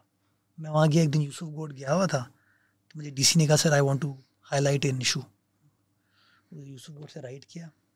देखा, सर, ये देखें आप, तीन लेन की दो ट्रैक्स हैं तो छः लेन की रोड है और उसके बाद सर्विस लेन है। ब्यूटिफुली प्लान्ड चल रहे हैं, चले सर, ये नाला चल रहा है। After about two hundred metre नाला गायब दुकानें बन गई उसके ऊपर मस्जिद बन गई उसके ऊपर सर जब ये बन रही है तब लोग कहाँ थे यार हमारे यहाँ एक अनफॉर्चुनेटली प्रॉब्लम है शायद मेरी बातों की बुरा माने हम कहते हैं यार थोड़ा एडजस्ट कर ले यार ना हम क्या करते हैं हम अपने इंटरेस्ट को लुक आफ्टर करने के लिए ना कभी कभार लार्ज स्केल सोसाइटी का प्रॉब्लम कर देते हैं हम एक घर बना आपका 200 गज पे एक फैमिली रहती है साहब के चार बच्चे हो गए उन्होंने कहा चार बच्चों के साथ मैं दो सौ गज पे तो नहीं रह सकता उसने ऐसा करता हूँ ग्राउंड प्लस फोर बना देता हूँ। चारों बच्चे उसमें एडजस्ट हो जाएँगे। सर ओवरनाइट तो नहीं बनता? गवर्नमेंट का कोई ना कोई इदारे ने बनता हुआ देखा होगा या तो परमिशन दे दी होगी या तो पैसे ले लिए होंगे? पैसे दिए होंगे लेकिन देखिए शायद यही तो प्रॉब्लम है। मैं पैसे ले रहा हूँ आप पैसे दे रहे हो। हम ये कहते हैं थोड़ा मेरे लिए कर लो ना प्लीज़ यार थोड़ा सा प्लीज़ फिर ये फिर गवर्नमेंट की रिस्पॉन्सिबिलिटी आती है। है है और ओवर द इयर्स मैं मतलब मैं कभी गलत चीज़ को डिफेंड नहीं करूँगा बट ओवर द इयर्स ये खराबी हुई। मैंने आपको बताया ना ग्यारह सौ लोगों को दुकानें दे दी गई नाले के ऊपर। और मैं ये भी नहीं कहता किसने दी किसके दौर में हुई बट ग्राउंड रियलिटी है कि वो दे दी गई। आपने 200 गज के मकान पे प्लॉट पे 80 गज के प्लॉट पे ग्राउंड प्लस छः की इमारत बना दी। आपके शहर का वो इंफ्रास्ट्रक्चर नहीं है। आपने कमर्शलाइजेशन की इजाज़त दे दी। आपको पता है शहर का मास्टर प्लान नहीं है कोई। क्यों नहीं है? था तो। नहीं है। वो जो पुराने बने थे तब तक इस तरह की मल्टीपल एंटिटीज क्रिएट नहीं हुई थी ना।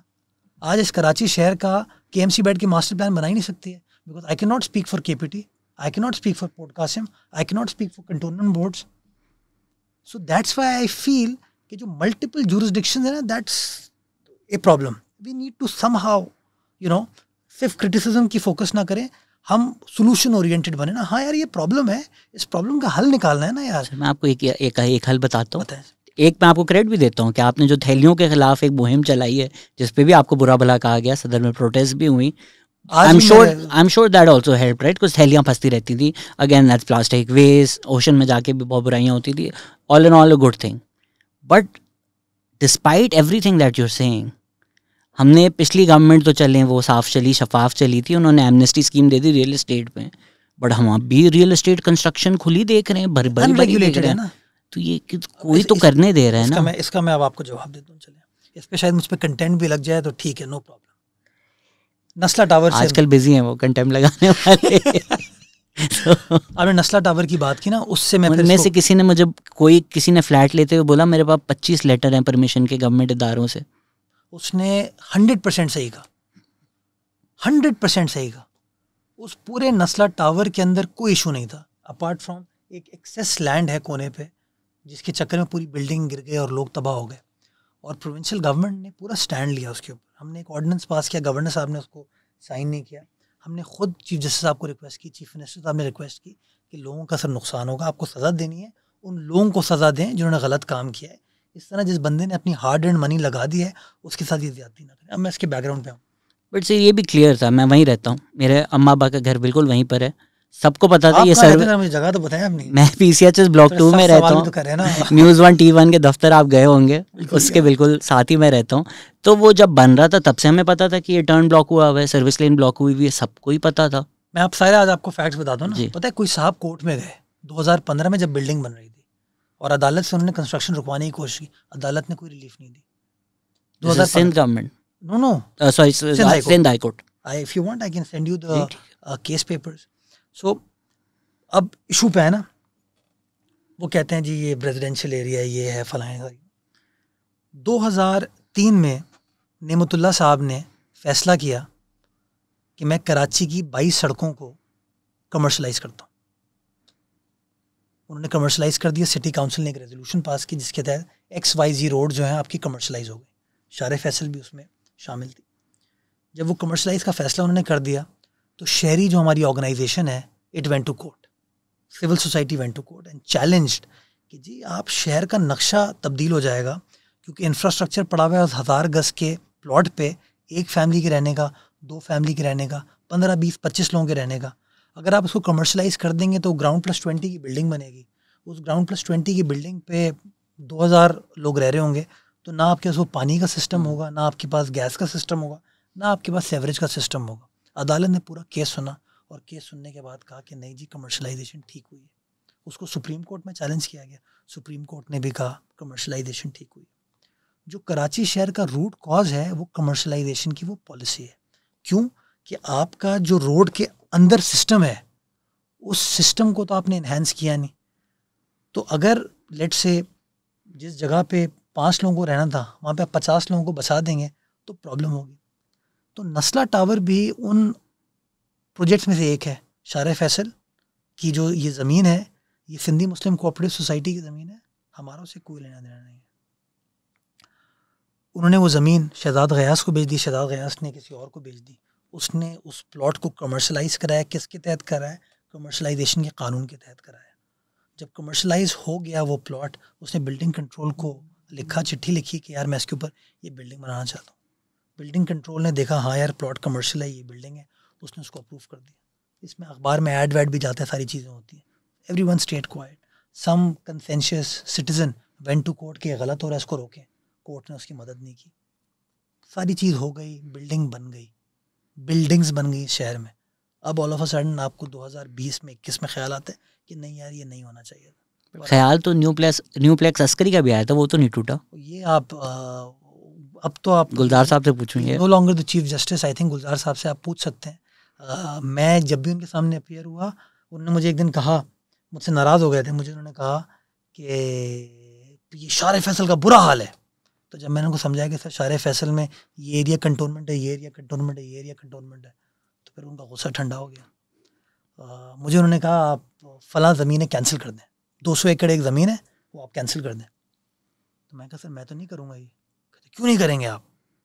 We are telling you do it मैं कहा सर कहते हैं you are a lawyer you must know that you should follow the orders of the court मैं कहा sir as a lawyer I also believe in a principle called due process of law दूसरी side को सुने बुलाएँ उनके document देखें उसके बाद आप जो फैसला करते हैं फैसला कर दीजिएगा। बट मैं unilaterally by one stroke of pen ये चीज़ नहीं करूँगा। नाराज़ हुए नागवार गुजरी उनको बात। लेकिन आ, मैं समझता हूँ कि जो मैं कर सकता था आ, मैंने किया। हमने एक्चुअली बोलना छोड़ दिया है और हम लोग रेट्रिक ड्रिवन हो गए बट सर जब हाउसिंग सोसाइटीज इतनी पावरफुल है रियल एस्टेट इतनी पावरफुल है इतनी पावरफुल होती है मेरी बात कंस्ट्रक्शन नहीं रुक सकती। But even based on the glass example अगर इतनी पावरफुल होती है ना तो ये नस्ला टावर के साथ ये नहीं होता। I as a citizen I I I feel very bad मतलब लोग बस गए रह रहे हैं उन मैं जानता हूँ कुछ लोगों को जो वहाँ रह रहे थे। यार ज्यादती हुई ना। मैं किसी को जानता हूँ जो अपने मियाँ से लड़कर अपार्टमेंट लिया था कि मैं तुम्हारे माँ बाप के घर में नहीं रहूँगी यहाँ रहेंगे हम। और फिर बिल्डिंग गिर गई। अब आप सोचे वो सास ससुर ने कैसे उनको वेलकम बैक किया होगा घर में। वन कॉन्स्टिट्यूशन एवेन्यू की जो बिल्डिंग है जी जी। सुप्रीम कोर्ट रेगुलराइज करता है। नस्ला टावर को गिरा देता है। पंजाब के अंदर गालिबन बोजदार साहब के ज़माने में साढ़े चार सौ हाउसिंग सोसाइटीज़ को रेगुलराइज किया गया है। आप इस शहर में करके तो देखें। ये कहते हैं ना लैंड कन्वर्जन नहीं होनी चाहिए। When was the last time you went to Islamabad जाते रहते हैं इस्लामाबाद आप? जी जी जी तो इस्लामाबाद जब नए एयरपोर्ट पे गए होंगे आप हाँ हाँ बिल्कुल। तो नए एयरपोर्ट से आप बाहर निकलते हैं। वो सारी ज़रूरी ज़मीन है राइट राइट अब वहाँ क्या बन रहा है? हाउसिंग सोसाइटी बनेगी और क्या बनेगा? नहीं बन रही है इस वक्त। इंक्लूडिंग सुप्रीम कोर्ट की भी हाउसिंग सोसाइटी उसी पे है उसी रोड पे राइट तो वहाँ पे कन्वर्जन हो सकती हाँ, है? हमें नॉर्मल लगती हैं ये चीज़ें। सुप्रीम कोर्ट हाउसिंग सोसाइटी जैसे हर मुल्क में सुप्रीम कोर्ट हाउसिंग सोसाइटीज होती हैं। हम डरते हैं बात करते हुए ना, शायद मेरी बात किसी को नागवार गुजरे बट मैं यार गलत बयानी नहीं करूँगा। मुझे अल्लाह ताला ने इज़्ज़त दी है, एक जगह बिठाया है, मैं सच बोलूँगा ना। अब मैं सवाल पूछता हूँ कि कराची शहर के अंदर आप चीज़ों को कमर्शलाइज नहीं कर सकते, उसका स्टेटस चेंज नहीं कर सकते, ये कोर्ट कहती है। लाहौर के अंदर, पंजाब के अंदर हाउसिंग सोसाइटीज़ रेगुलराइज हो जाती हैं, कोई सवाल नहीं पूछा जाता। ये अखबार में रिपोर्टेड है। इस्लामाबाद के अंदर एयरपोर्ट से आप बाहर नहीं सारी ज़राई ज़मीन है वो। सारी ज़रूरी ज़मीन पे इस वक्त जो है हाउसिंग सोसाइटीज़ बन रही हैं। वहाँ कोई सवाल नहीं पूछा जाता, लेकिन आप नस्ला टावर को गिरा देते हो। तो तो कहीं, क्यों? कंटेम्प्ट ऑफ़ कोर्ट जगह कुछ ना बोलो। सर, नस्ला टावर के साथ मैं भी मानता हूँ ज़्यादती हुई है, लेकिन आपके पास अभी प्रोविंशियल गवर्नमेंट है फेडरल गवर्नमेंट है। अगर हम थोड़ा कंट्रोल करें, जो रियल इस्टेट कंस्ट्रक्शन एमनेस्टियाँ दी हुई हैं लिटरली आपको भी पता है कितना ब्लैक मनी रियल इस्टेट में अनप्रोडक्टिव एसेट है ज़ाय हो रहा है हमारे मुल्क का। खरबों लोगों ने फैक्ट्रियाँ बेच बेच के अपने बाप की रियल इस्टेट में पैसा लगा दिया। सबसे आसान रास्ता है। क्यों नहीं ये चीज़ रोकी जा सकती?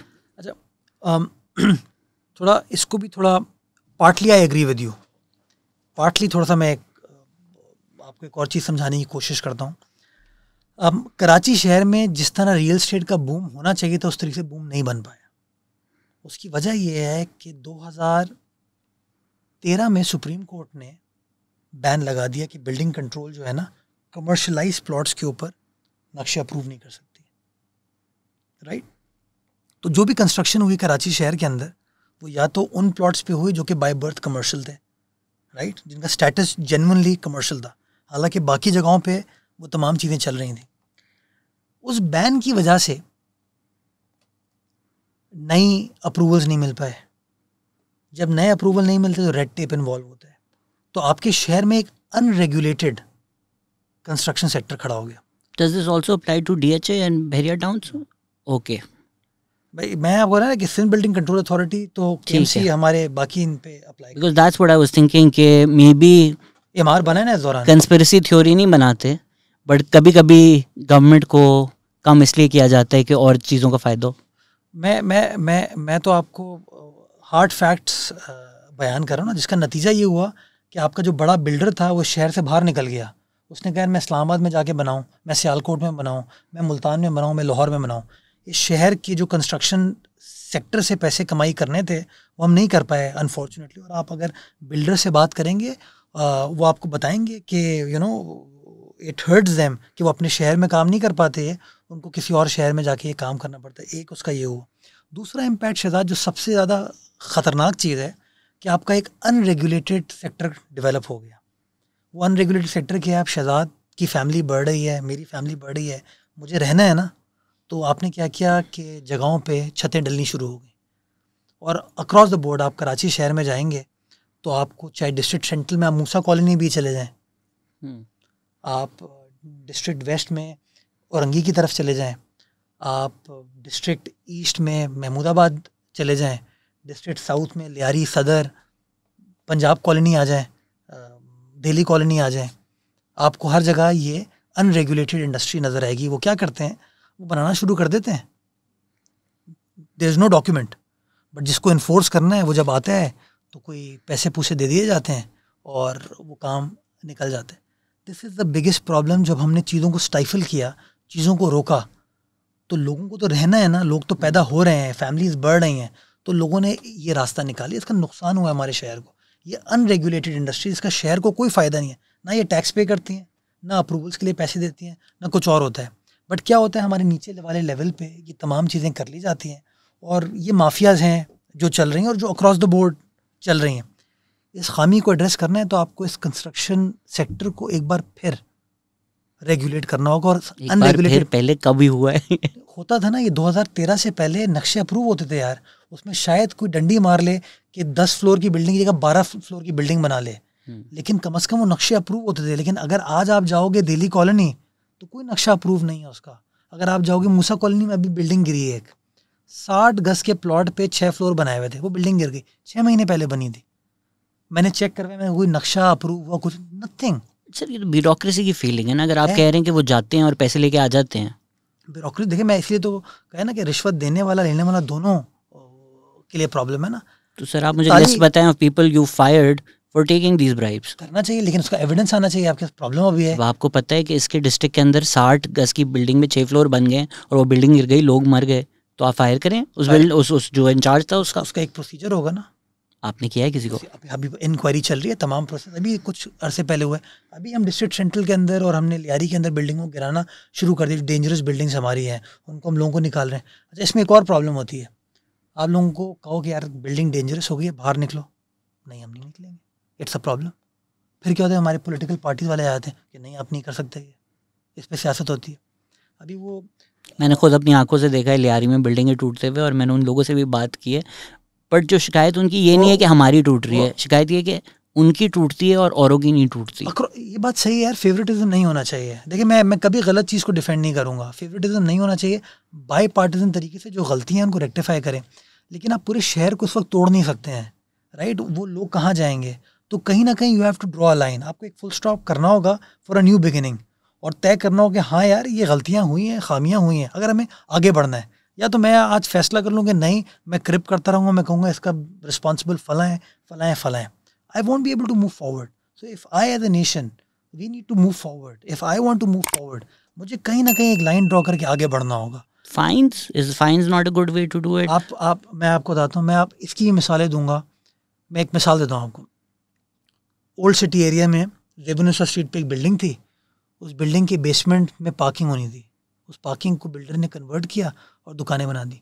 बिल्डिंग कंट्रोल ने उसको नोटिस दिया वो गए अदालत स्टे लेके आ गए। ये भी मसले होते हैं।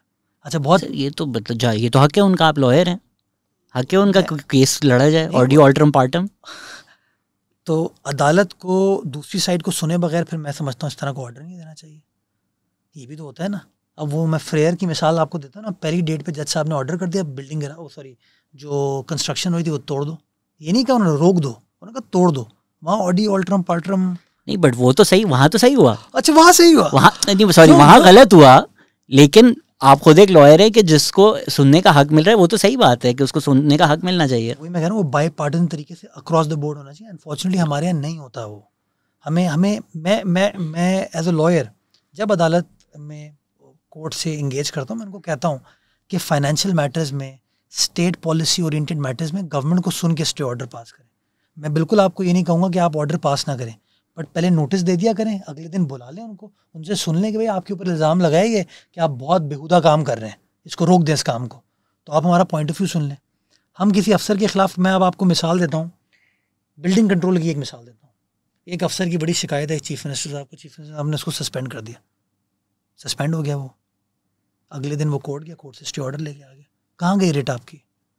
You tell me if my subordinate officer उसको कोई कहे कि तुम मुर्तज़ा बाब की बात ना सुनो वो मेरी बात सुनेगा? रिट कहाँ गई? बट आई मीन अगर अनफेयर ग्राउंड्स पे अनफेयर भी होते हैं तो उसके पास हक है जाने के लिए। वो तो सुने कोर्ट ना कि क्या क्या ग्राउंड से मैं एज अ लॉयर और एज अ सिटीजन मैं समझता हूँ हंड्रेड परसेंट हर शख्स को हक हासिल है कि वो अदालत जाए। हम्म। लेकिन मैं समझता हूँ अदालत की भी ये ज़िम्मेदारी है कि ऑर्डर पास करने से पहले दूसरी पार्टी को सुन लेना। बिल्कुल सुन लेना चाहिए। सुने बगैर अगर ऑर्डर पास करे वो गलत हो जाएगा। अब होता क्या है? सुने बगैर ऑर्डर होता है जब मैं गवर्नमेंट साइड पे नहीं था प्राइवेट साइड पे था तो I was the beneficiary of this आज मैं गवर्नमेंट साइड पे हूँ तो आई एम अ विक्टिम मैं कहता हूँ कि आपको जो ऑर्डर पास करना है हम्म। आप करें लेकिन दूसरी साइड को सुनने के बाद ऑर्डर पास करें। एक जनरल प्रिंसिपल बना लें। हमारे यहाँ देखें टैक्स मैटर्स पे डेवलपमेंट मैटर्स के ऊपर स्टे हो जाते हैं।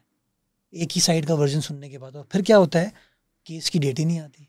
तारीख नहीं आती और वो मामला ख़राब होता जाता है। हमारे मुल्क में सर प्राइम मिनिस्टर को निकाल दिया जाता है बिना सुने। तो judicial activism and the Iftikhar चौधरीआइजेशन of the judiciary ये तो एक बहुत ही बड़ा डिस्कशन है। मिनिस्टर को निकाल दिया जाता है प्राइम मिनिस्टर को फांसी दे दी जाती है। आज भी उसका रेफरेंस अदालत में पेंडिंग है। मैं गिला करता हूँ। मैं भुट्टो साहब को आइडलाइज करता हूँ। उसका प्रेसिडेंशियल रेफरेंस अभी देखे ना आरिफ अलवी साहब ने प्रेसिडेंशियल रेफरेंस भेजा तो महीने डेढ़ महीने में फैसला आ गया सिक्सटी थ्री ए के ऊपर। हमने शायद 2011 या 12 में प्रेसिडेंशियल रेफरेंस भेजा था भुट्टो साहब के केस में। क्यों? क्योंकि उस बेंच का हिस्सा नसीम हसन शाह साहब थे। उनने एक टीवी प्रोग्राम में आके एडमिट किया कि हमसे फैसला गलत हुआ हो। ये in light of such evidence request भेजी कि यार उसको भी ज़रा रिव्यू कर लें, उसको देख लिया जाए रेफरेंस में जवाब दे दिया जाए। उसकी ना सुनवाई है, ना। इनफैक्ट जो हमारा वकील था, उसमें बाबर रवान, अब वो पीटीआई का वकील है। वकील जो होते हैं ना, किसी के नहीं होते वाटर का भी आपने ज़िक्र किया था। ये तो एक आसान हल है कि जी मीटर लगाएँ, ठीक है? टैंकर माफिया भी ख़त्म हो जाएगा। पाइप लगे हुए इंफ्रास्ट्रक्चर सारा एग्जिस्ट करता है। पीछे से टैप ऑन करने की ज़रूरत है and if you want get money from it घरों में मीटर लगा लें, जिसका जितना यूजेज होगा, उसको आप बेहतर भी कर सकते हैं कि जिस तरह बिजली में होता है कि यार ये स्लैब्स हैं। जो ज़्यादा पानी यूज़ करेगा, वो ज़्यादा पैसे देगा। गवर्नमेंट को भी पैसे जाएँगे प्राइवेट टैंकर माफिया को भी नहीं जाएँगे। Seems like a win-win for everybody. Why doesn't it happen? Great point S S G C इसलिए चलती है कि वो गैस प्रोवाइड करती है उसको उसका बिल मिलता है वो चल रही है। के इलेक्ट्रिक इसलिए चलती है कि वो बिजली प्रोवाइड करती है आपको जितनी बिजली प्रोवाइड करती है उतनी आपको बिल कर देती है। पानी के केस में अनफॉर्चुनेटली कभी भी हमने बिलिंग मैकेनिज्म पर फोकस ही नहीं किया। एज अ स्टेट हम इसको as a matter of right समझते हैं और बिल देने को अपनी ज़िम्मेदारी या ड्यूटी नहीं समझते। अगर आप किसी एक आम शहरी से जाके बात करेंगे, पूछेंगे, यार, तुमने वाटर बिल लास्ट टाइम कब पे किया था? बिजली का बिल वो फ़ौरन पे करेगा। क्यों? क्योंकि उसको पता है बिल नहीं पे करेगा तो लाइन काट देंगे। गैस का बिल पे नहीं करेगा सेकेंड डेट पे लाइन काट दी जाएगी। पानी के अंदर अनफॉर्चुनेटली ये मैकेनिज्म कभी भी डेवलप नहीं किया गया। State was very relaxed with regards to water hence the problem Karachi शहर समंदर पर है तो हमारे पास तीन सोर्सेज हैं पानी की इस वक्त। एक किंजर एक हब। किंजर का बहरिया पे नहीं जा रहा अब इतना ज़्यादा पानी या बहुत ज़्यादा है अभी भी। किंजर जी। हब एंड समंदर। तो let's start off with Keenjhar and Hub. Keenjhar की जो सोर्स है बल्कि let me start off with this Karachi शहर की water requirement as of now is approximately 1100 million gallons of water a day ग्यारह सौ पानी। कराची को दो सोर्सेज से जो पानी मिलता है, एक किंजर है which gives us approximately 470 million gallons of water और हब देता है हमको 100 मिलियन गैलन्स ऑफ़ वाटर तो जो स्टेटेड कैपेसिटी इंस्टॉल्ड कैपेसिटी है वो है 570 to 580 million gallon of water day so approximately 52 53 percent of the actual demand उतनी सप्लाई हमारे पास। शॉर्टेज है तो डिमांड सप्लाई का प्रॉब्लम होता है। वो किंजर का जो पानी है, वो शहर भर में जा रहा है। डिफरेंट डिफरेंट जगहों से होते हुए उसकी डिफरेंट लाइंस हैं आपकी। और हब का जो आपका सिस्टम है, वो भी डिफरेंट जगहों से जा रहा है। अनफॉर्चुनेटली पानी पूरा नहीं होता। जब ये पानी पूरा नहीं होता तो आपको जगहों पे चीज़ें रोकनी पड़ती हैं। अब इसकी बेस्ट एग्जांपल हम लेते हैं डी एच लियारी किमाड़ी मैं तीन जगहों की क्यों मिसाल दे रहा हूँ कि तीनों जगहें टेल एंड पे हैं शहर की। यानी कि शहर के बिल्कुल आखिर में ये तीनों हैं और एफ्लुएंट एरिया भी हो गया और गरीब और मिडिल क्लास एरिया भी हो गया। जो किंजर से लाइन स्टार्ट होती है, वो किंजर से होती हुई, धाबे जी से होती हुई वो आती है शहर के अंदर। कुरंगी भी जाती है, लांडी भी जाती है, गुलशन सेंट्रल की साइड पर भी जाती है। जब वो डीएचए का टाइम आता है ना, या लियारी का टाइम आता है, या किमाड़ी का टाइम आता है तो उस लाइन में पानी इतना नहीं बचता। क्यों? क्योंकि आपका शहर नॉर्थ वर्ड्स बड़ा है एक्सपैंड हुआ है तो उनकी यूजेज बढ़ गई है। जब उनकी यूजेज बढ़ गई है तो वो पानी वो कंज्यूम कर जाते हैं इसलिए शहर के आखिर तक पानी नहीं पहुँच पाता। अब इसके दो हल हैं। एक हल तो ये है कि आप पूरा ग्यारह सौ पानी कर दो। हम्म। ठीक है? वो किंजर की कैपेसिटी इस वक्त नहीं है। और उस ग्यारह सौ को शहर में लाने के लिए जो कॉस्ट रिक्वायर्ड होगी वो फिनल है क्योंकि रिकवरी हम वाटर बोर्ड की है ही नहीं। अभी हम कैसे जो जो पाँच सौ रह जाता है या साढ़े तो चार सौ बीस रह जाए वो कैसे कवर कर रहे हैं अभी? कैसे करें मतलब? आपने कहा फाइव एटी हो जाता है हब और किंजर से। बाकी कैसे कर रहे हैं? वो सबसॉइल वाटर के ज़रिए हो रहा है बोरिंग अच्छा। के ज़रिए हो रहा है। कुछ एरियाज़ हैं जहाँ पे पानी नहीं आता कुछ बदनसीब एरिया ऐसे शहर के हैं जहाँ साठ साठ दिन पानी नहीं आता। कुछ एरिया ऐसे हैं जहाँ पे चौबीस घंटे सेवन डेज़ अ वीक पानी आता है उनकी टंकियाँ ओवरफ्लो कर रही हैं। आप जिस एरिया में जैसे मिसाल दे रहे थे तारिक रोड के आसपास वाला पीसेज अल्लाह इज़ वेरी काइंड वहाँ पे पानी मैं एक ज़माने में रहता था।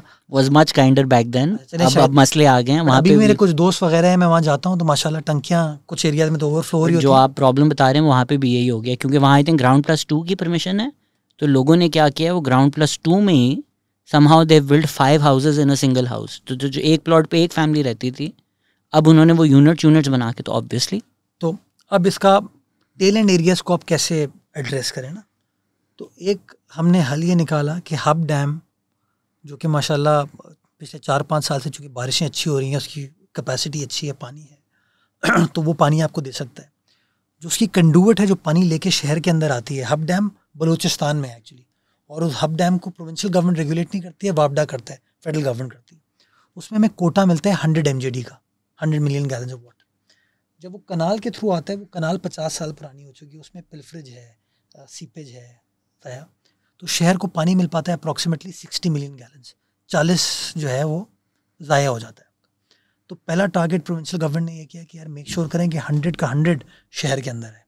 तो अब हम एक नई कनाल डाल रहे हैं और कल हमारा पब्लिक प्राइवेट पार्टनरशिप के बोर्ड की मीटिंग है, जिसके अंदर इसकी अप्रूवल दी जाएगी। अप्रॉक्सीमेटली फोर्टीन बिलियन रुपीज़ का ये प्रोजेक्ट होगा, जिससे फ़ायदा ये होगा कि वो हंड्रेड एम पूरा का पूरा आपके पास आएगा। और फ़ायदा डिस्ट्रिक्ट किमाड़ी डिस्ट्रिक्ट वेस्ट और सेंट्रल डिस्ट्रिक्ट को उससे होगा। आ, और अगर हब डैम में पानी इसी तरह अच्छी क्वांटम हमारे पास रहा तो जो एग्जिस्टिंग सिस्टम है आप उसको भी इस्तेमाल कर पाएँगे। तो कराची को 40 एम जो ज़ाया हो रहा था वो भी मिलेगा। प्लस हम फेडरल गवर्नमेंट से बात करिए 20-25 एम और तो 60-65 M will be a major relief to these far off areas दूसरा जो शदादम कर रहे हैं वो है डिसैलिनेशन दुनिया भर के अंदर डिसैलिनेशन इज़ अ रियलिटी पूरा मिडल ईस्ट इस पर चल रहा है। अनफॉर्चुनेटली पाकिस्तान में ये मिथ है कि डिसैलिनेशन हमारे यहाँ नहीं हो सकती। उसकी बुनियादी वजह ये है, लोग ये सोचते हैं कि हमारा पानी की क्वालिटी अच्छी नहीं है, इसलिए डिसैलिनेशन नहीं हो पाता। और ये जो हमारा कोजन का प्लांट था इसको लोग बेंचमार्क बना के सोचते हैं कि शायद डिसैलिनेशन नहीं हो पाता। तो लोग रिलक्टेंट फील करते हैं उसको उसको आगे लेके चलने में। I been a very strong proponent of the idea कि we have to go towards desalination because river water से जिस तरह आबादी बढ़ रही है एग्रीकल्चर का प्रॉब्लम होगा, आप कम्प्लीटली सोली डिपेंडेंट नहीं हो सकते, आपके पास ऑल्टरनेट सोर्स होनी चाहिए। तो मैं लोगों को बताना चाहूँगा कि कराची शहर में इस वक्त भी डिसैलिनेशन हो रही है। कैनप पे एक पंद्रह लाख गैलन का प्लांट है जो कि उनकी रिक्वायरमेंट के लिए था वो समंदर का पानी मीठा करता है। D H A phase eight के अंदर डी एच ए ने अपना दो लाख गैलन का प्लांट लगाया आर जो कि क्रिक विस्टा वगैरह को पानी सप्लाई करता है। तो ये दो बेंचमार्क हमारे सामने मौजूद है कि ये चीज़ हो सकती है। वाई द डिले और वाई द रिलक्टेंस ना एक तो मैंने आपको बता दी कि मिथ था। दूसरी रिलक्टेंस शहजाद ये है कि आपको जो वाटर बोर्ड का पानी मिलता है, उसका वाटर बोर्ड गो के बिलिंग नहीं करता बट उसकी कॉस्ट है चौंतीस पैसे पर गैलन ये जो डिसलिनेशन आप करेंगे तो इसका जो पानी होगा बिजली इतनी महँगी हो गई है ये पानी चौंतीस पैसे का आपको नहीं मिलेगा। ये पानी की कॉस्ट होगी डेढ़ पौने दो रुपये मेरे पास नंबर नहीं है but it will be on the higher side probably less than what we pay for a tanker but certainly more than what the water board is billing you अब आपका जो अफसर है वो डरता है। वो अफसर कहता है कहता है, यार, मुझे कल को नैब सवाल पूछेगी, मुझसे अदालत सवाल पूछेगी कि चौंतीस पैसे की आपके पास सोर्स अवेलेबल थी, आप चौंतीस पैसे पे नहीं गए, आप महँगे पानी पे चले गए। That means you are on the take तो वो घबराता है, डरता है करते हुए। तो वो स्केप्टिसिज्म की वजह से भी डिले हुआ। बट फाइनली प्रोविंशियल गवर्नमेंट ने फैसला किया है कि no we have to proceed दो दिन पहले चीफ मिनिस्टर साहब ने मीटिंग की और कल हमारी वही पब्लिक प्राइवेट पार्टनरशिप बोर्ड की मीटिंग है, जिसमें इसका हम फॉर्मल अप्रूवल लेंगे। We are going for do two plants पहला प्लांट हम इब्राहिम हैदरी पे आ, सोच रहे हैं लगाने का। वहाँ हमने एक जगह देखी है जो कि कंसल्टेंट्स ने कहा है कि the water is good enough for desalination Rehri Goth is the area वो पाँच लाख पाँच लाख कह रहा हूँ five million gallons five M का प्लांट होगा। और दूसरा हम सोच रहे हैं हम हॉक्सबे की तरफ़ लगाएँगे। तो ये रेडी गोट वाला जो पानी है वो डीएचए की तरफ़ आएगा। और जो हॉक्स हॉक्सबे वाला पानी है वो होपफुली इन लियारी की तरफ़ आएगा किमाड़ी की तरफ़ आएगा। तो ये आ, दस आ, मिलियन गैलन को हमने बेंचमार्क के तौर पर लिया कि इनशाला if we are successful then such projects can be replicated but issue again ये है जिसमें मुझे आप जैसे लोगों की मदद चाहिए होगी या गवर्नमेंट को ओपिनियन uh, मेकर्स की मदद चाहिए होगी कि हम लोगों को कन्विंस करें इस बात पे कि यार water is a commodity that you have to buy you have to pay for it limited जिस तरह कैलिफ़ोर्निया जैसे शहर में भी आपकी एक लिमिट होती है कि यार इतना हमें लगता है अच्छा है एक फैमिली की फेयर यूसेज है आप कर लें। अब जो लोग हैं जो गाड़ियाँ धोते हैं या बाग धोते हैं उसकी उससे बढ़ेगी। इतनी लेट से आपको फ्री मिलेगी इसके बाद स्लैब रेट पे मिलेगी इसके बाद स्लैब रेट पे मिलेगी। उसके लिए लोगों को एजुकेट करना पड़ेगा ना। आप कैलिफ़ोर्निया की एग्जांपल सर बट आपको but but it's also not an excuse right because we also know Pakistan is what the fifth most water stressed country दो साल बारिशें हो गई बट हमें पता है कह दाएँगे।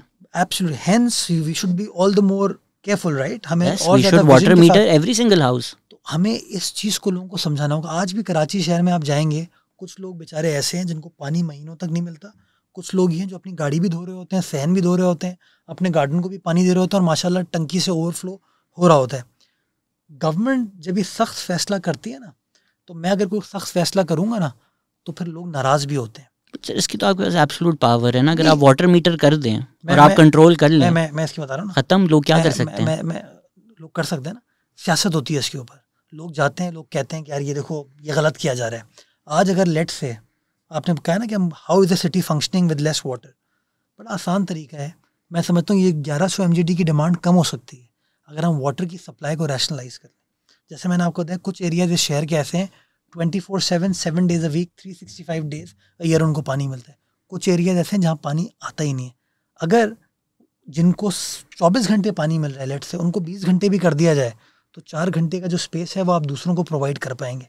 लेकिन जब आप वो करेंगे तो फला बंदा खड़ा हो जाएगा, कहेगा, तुम मेरे लोगों के साथ ज़्यादा करो फला बंदा खड़ा हो जाएगा, तुम मेरे लोगों के साथ ज़्यादा करो।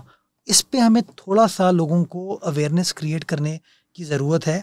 कि ये चीज़ करना हम सब के लिए लॉन्ग टर्म बेनिफिट में होगा। सर अभी मतलब सौ रुपये पेट्रोल महँगा हो गया मुल्क की ज़रूरत थी कर दिया ना उन्होंने समझाया। लोग क्रिटिसिज्म मिला सब कुछ हुआ but we had to do it they did it के ये सीधा लोग बिल नहीं पे करते थे के इलेक्ट्रिक का बिल फ़ौरन पे कर देते हैं लोग राइट वाटर बोर्ड लोग कहते हैं यार बाप का माल है। यार सरकारी दिस इज़ आर प्रॉब्लम आपको मैं बताऊँ नंबर कोड करता हूँ मैं वाटर बोर्ड की पता है कितनी कलेक्शन है? शहर भर से एक अरब रुपए। दैट्स इट क्यों? क्योंकि water board you you do a normal क्या कहते हैं क्वेश्चन आर करें दस लोगों से रैंडमली पूछें कि उन्होंने लास्ट टाइम uh, अपना पानी का बिल कब पे किया था। They very few people who make this payment क्यों? क्योंकि लोग कहते हैं यार लाइन तो काटेगा नहीं हैबिट चेंज हो जाती है। Yes. अब जिस तरह अब जिस तरह ट्रैफ़िक की बात करें आप बड़े आसानी से कह सकते हैं यार कराची में सब लोग रेड लाइट तोड़ते हैं मैंने भी तोड़ते हुए देखा है। लाहौर ने जब सेफ़ सिटी किया लोगों ने तोड़ना छोड़ दिए जब उनको पता था कि कैमरा में आएगा घर पे बिल आएगा हैबिट चेंज हो गई। बिल्कुल सही हम जिस तरह खान साहब भी कहे कि औरों के मुल्क में डेमोक्रेसी है क्योंकि भाई वो कोई खुदा से उतरे हुए लोग नहीं है। कॉलोनाइजर ने हमारा दिमाग ख़राब किया भाई गोरे बड़े अच्छे इंसान हैं। नहीं उनको आदत दिलवाई है कि यार न्यूयॉर्क सिटी में अगर सेलेक्ट बस चल रही है जर्मनी में अगर ट्रेन चल रही है आपकी कोई टिकट नहीं चेक करता। जर्मनी में ट्रेन में चढ़ने से पहले काउंटर भी नहीं है। बट उनको पता है ना कि यार अगर एक दफ़ा फ़ाइन हो गया maybe they had conductors on every train then they had it on every other train over the years people were trained मैं फ़र्स्ट टाइम जब यूएस गया तो I was driving the car दोस्त की गाड़ी थी रात को ढाई तीन बजे थे रोड खाली थी। तो I was driving the car तो मैंने वही सोचा कि तोड़ देते तो उसने कहा खबरदार। That fear right fear of law that deters a person right हमारे मुल्क में अनफॉर्चुनेटली ओवर द ईयर्स वो चीज़ ख़त्म हो गई है। और उसको उजागर करने के लिए, उस चीज़ को ज़्यादा एम्फेसाइज करने के लिए अच्छे लोगों को सियासत में भी आना होगा, अच्छे लोगों को पब्लिक सेक्टर में ब्यूरोक्रेसी में भी आना होगा और पब्लिक एट लार्ज को जो गवर्नमेंट के वेल इंटेंशन वेल मीनिंग फैसले हैं ना, उनको बैक करना होगा, उनको सपोर्ट करना होगा। अनफॉर्चुनेटली हमने एक फैसला कर लिया कि सरकार का जो फैसला है वो गलत होगा, वो बदनीयती पर मबनी होगा। हम हर चीज़ को क्वेश्चन करना शुरू कर देते हैं। जिसका मैं समझता हूँ एज अ स्टेट हमें फ़ायदा नहीं हो रहा। If I may advocate for the people right के आई वुड फील के most people will have no issues paying the taxes paying everything मतलब लोग खैरात भी तो देते हैं, लोग मुश्किल वक्त में भी तो साथ देते हैं। इज़ जस्ट दैट कि जब बंदा टैक्स भी देता है, सब कुछ देता है, फिर वो रोड से निकलता है और उसकी गाड़ी रोलर कोस्टर में जाती है। फिर वो देखता है पुलिस वाला रिश्वत दे रहा है। फिर वो जब बारिशें होती है तो देखता है कि बच्चे डूब के मर गए, नालों में चालीस लाशें मिली। तो बंदा सोचता है, यार, मैं किस बात के टैक्स दे रहा हूँ, फिर वो देना भी छोड़ देता है। सो यू ऑल्सो स्टेट की भी गलती है। Hundred percent. इसमें कोई दूसरी राय नहीं है। मैं समझता हूँ, जब तक स्टेट अपनी गलती एक्सेप्ट नहीं करेगा we can't move forward but यार you know it takes two to tango ताली दोनों हाथों से बचती है ना।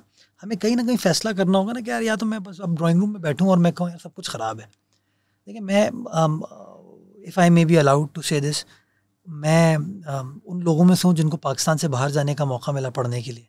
मैं बाहर चला गया। बट मैं पाकिस्तान वापस आया। क्यों आया वापस? कि मेरी वालदा ने मुझे कमिटमेंट ली थी कि यार तुम वापस आओगे। और मैं आज भी पहले वालदा की वजह से आया, लेकिन आज भी पाकिस्तान में मौजूद हूँ। क्यों? और मैं सियासत में क्यों आया? मेरे पास दो फैसले थे। कि मैं अपनी प्राइवेट लाइफ इन्जॉय करता प्रैक्टिस शैक्टिस करता, पैसे कमाता ड्राइंग रूम में बैठता, दोस्तों के साथ घूमता, फिरता वेकेशनिंग करता और क्रिप करता कि यार शहर में ये ख़राब है, ये ख़राब है, ये ख़राब है, ये ख़राब मुझे अल्लाह ताला ने मौका दिया कि मैं पब्लिक सेक्टर में आ जाऊँ और मैं कंट्रीब्यूट कर सकूँ। मैं जब ट्विटर पे या फेसबुक पे कोई चीज़ शेयर करता हूँ या प्रेस कॉन्फ्रेंस करता हूँ तो मेरे ख्याल में सौ लोग मुझे बुरा भला कहते हैं, बीस, पच्चीस लोग कहते हैं, यार, अच्छी चीज़ है। राइट दिल दुखता है उन सौ लोगों के ऊपर कभी कभार दूसरों का मलबा भी मुझ पर डाल दिया जाता है। बट मैं अपने आप से एक सवाल पूछता हूँ यार, शहर तो मेरा है ना, मुल्क तो मेरा ही है सुबह मेरा है राइट मैं ही यहाँ रह रहा हूँ, मेरे बच्चे रह रहे हैं। मैं नहीं ठीक करूँगा तो बाइडन आके तो ठीक नहीं करेगा ना ये राइट और मैं सबसे ये कहता हूँ यू नो कि हमने सियासत को गाली बना दी है, हमने पब्लिक सेक्टर को गाली बना दी है। हमें अपने रुझान को माइंडसेट को चेंज करना होगा। You know the educated class the professional class has to come into public sector वो काम करेंगे, चीज़ें बेहतर होना शुरू होंगी। We cannot give up on the state where we live we can't say यार चीज़ें बेहतर नहीं हो सकती.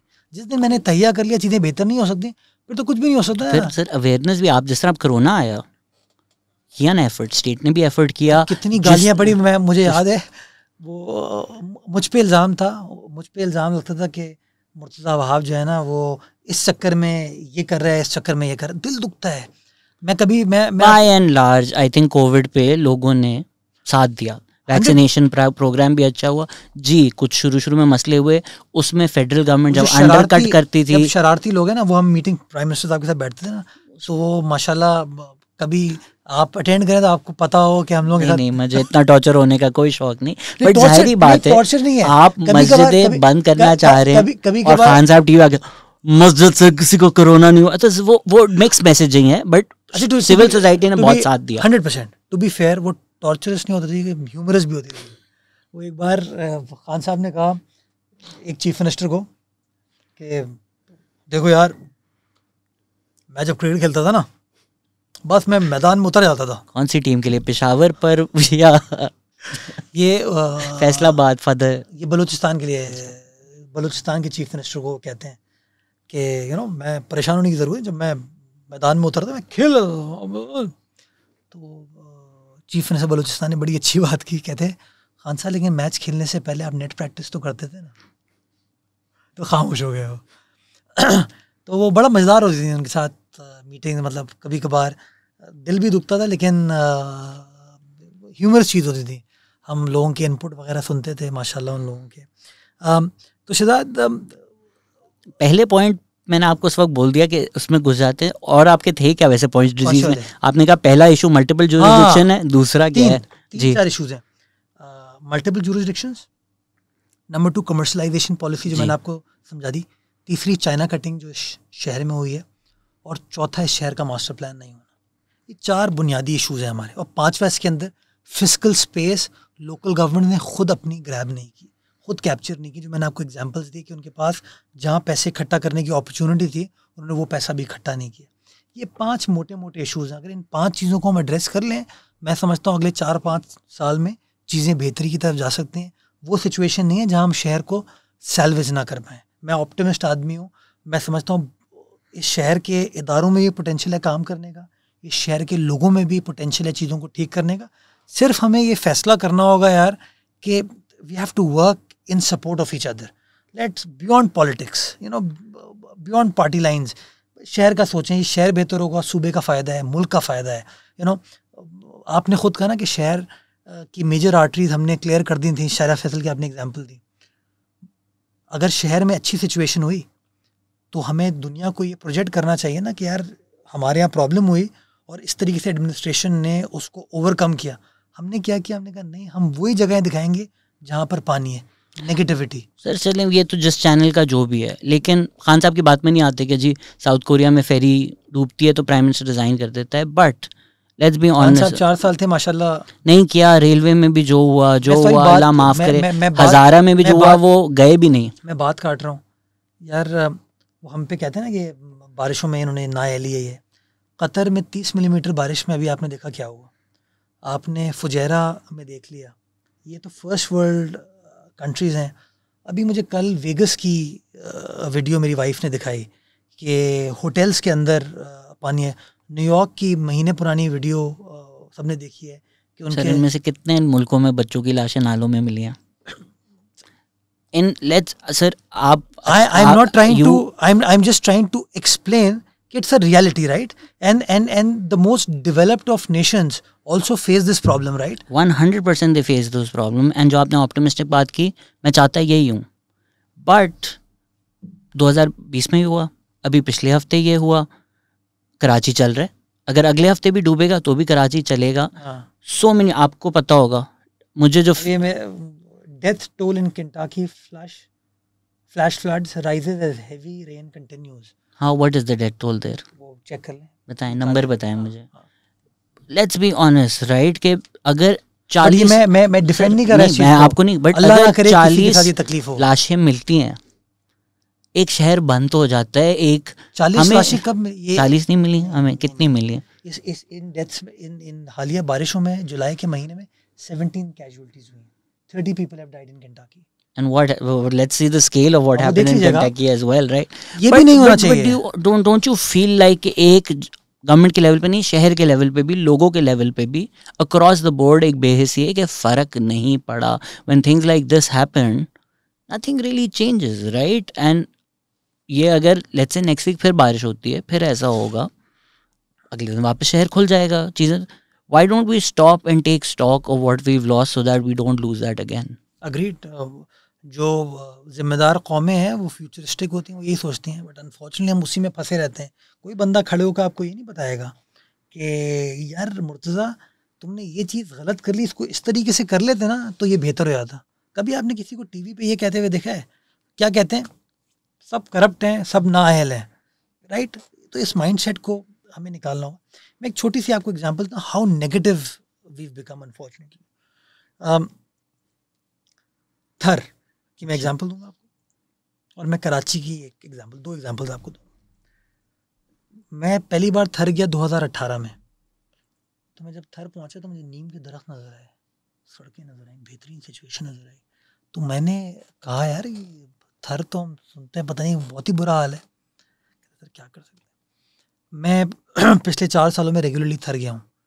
And I seen the place develop I have also gone to there and seen the place develop अब आज अगर आप गूगल करें थर तो अनफॉर्चुनेटली इतनी सारी नेगेटिव चीज़ें आएँगी जो कि हमारी कौम का एक अच्छा परसेप्शन किसी बाहर के आदमी को कन्वे नहीं करेंगी। कभी हमने ये नहीं सोचा कि मजबत रिपोर्टिंग करनी चाहिए। मुस्बित I think मुस्बित is the right word but sir but both things are true right जिस तरह मैंने credit by credit I give you credit by credit is due जो चीज़ें दिल तोड़ देती हैं आपका वो फिर गम गम भी तो आपको बताना है ना। 100% एम्पैथी और कंपैशन डेवलप करना चाहिए बट तसी के माइंडसेट से होना चाहिए ना। इंप्रूव करने के माइंडसेट से होना चाहिए। किसी को नीचा दिखाने के माइंडसेट से नहीं होना चाहिए। I as a Pakistani take pride in the fact कि Sindh governments NICVD treats 2.3 million people. It treated 2.3 million people from the 1st of January 2021 till 31st December 2021. In those 365 days, we treated 2.3 million patients absolutely free of cost. Out of those 2.3 million patients, um, 600,000 patients were not from Sindh. They came from different provinces Balochistan, Khyber Pakhtunkhwa, Punjab, Azad Kashmir, Gilgit Baltistan. A proportion of those patients came from outside Pakistan. I agree with all wait, wait, this. Wait, hear me out. Wait. You come to JPMC, cyber knife public private partnership में चलाई जा रही है cyber knife facility जो है दुनिया भर में पचास हज़ार डॉलर पर पेशेंट कॉस्ट करती है। पाकिस्तान में, कराची में that is the only hospital अगर आप वहाँ जाएँगे, वो उन्होंने एक बोर्ड लगाया हुआ है कि it is the only facility in the planet which provides this facility free of cost नतीजा क्या है कि सिर्फ़ पाकिस्तान के पेशेंट नहीं, पाकिस्तानी एक्सपैट्रिएट्स पाकिस्तान बाहर से इधर आते हैं। Gambat liver kidney cornea transplant एक ज़माने में देहरादून जाते थे पाकिस्तानी इलाज कराने के लिए लिवर का। अब वही इलाज फ्री ऑफ़ कॉस्ट गम्बट में हो रहा है सिंध गवर्नमेंट के अस्पताल तो मैंने आज से कोई दो साल पहले, तीन साल पहले ना एक प्रेस कॉन्फ्रेंस की लोगों को बताने के लिए कि यार नेगेटिविटी ख़त्म करो, इस मुल्क में अच्छी चीज़ें भी होती हैं, इस सूबे में अच्छी चीज़ें होती हैं, बताने के लिए। तो लोगों ने मज़ाक उड़ाना शुरू कर दिया कि यार ये मुर्तज़ा आप कह रहा है कि बाहर से पेशेंट आते हैं, बाहर से कहाँ पेशेंट आएँगे? झूठ बोल रहे बकवास कर रहे हैं। अभी रिसेंटली वो अमेरिकन खातून अमरीका छोड़ के she came to Khairpur Gambat to get liver transplant ये ग्राउंड रियलिटी है right now as a nation if you are a proud nation we would take pride in these things we would be telling people कि हमारे मुल्क में ऐसे doctors हैं, ऐसे इदारे हैं, ऐसे सरकारी इदारे हैं जो कि काम करते हैं। हम क्या करते हैं? हम कहते हैं, नहीं, हमारे यहाँ वो चीज़ बुरी है, वो चीज़ बुरी है, वो चीज़ बुरी है। मैं लोगों से भी एक रिक्वेस्ट करता हूँ as a person who sees potential in this country मेरा फ्यूचर इस मुल्क में है राइट मेरे बच्चों का फ्यूचर इस मुल्क में, मैं कहता हूँ यार उस नेगेटिविटी को ख़त्म करें।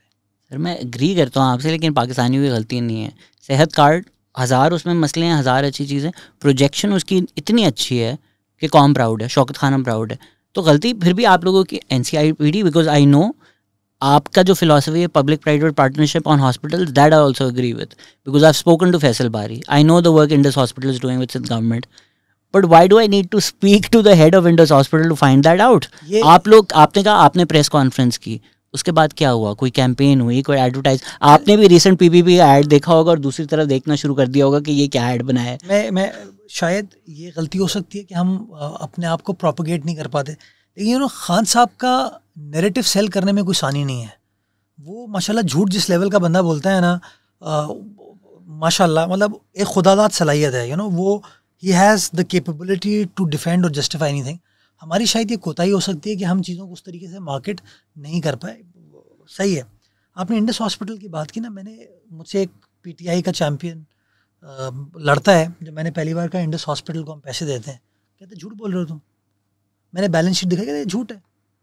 फिर डॉक्टर बारी ने एक दिन स्टेटमेंट दिया, वो मैंने स्टेटमेंट ट्वीट किया। नहीं, ये तो ऐसे ही हो गया। आप कहते S I U T I know S I U T is funded we are the biggest donor of S I U T last year we gave S I U T six and half billion rupees this year इनशाला we will give them eight billion rupees S I U T is is an institution that we take great pride in और अब हम उसको कराची से बाहर निकाल के हैदराबाद, खैरपुर, लाड़काना, सखर में भी ले गए। क्यों? क्योंकि यार इदारा लोगों की खिदमत कर रहा है। इंडस हॉस्पिटल को हम दो अरब रुपए ग्रांट देते हैं हर साल टू बिलियन रुपीज़ लोग एक आम आदमी को नहीं पता ये बात आई think doctor Faisal Bari is also managing some other hospitals for Sindh government as well Adeen का हमारा जो डीएचक्यू है वो हमने पब्लिक प्राइवेट पार्टनरशिप है इंफ्रास्ट्रक्चर हमने बना दिया।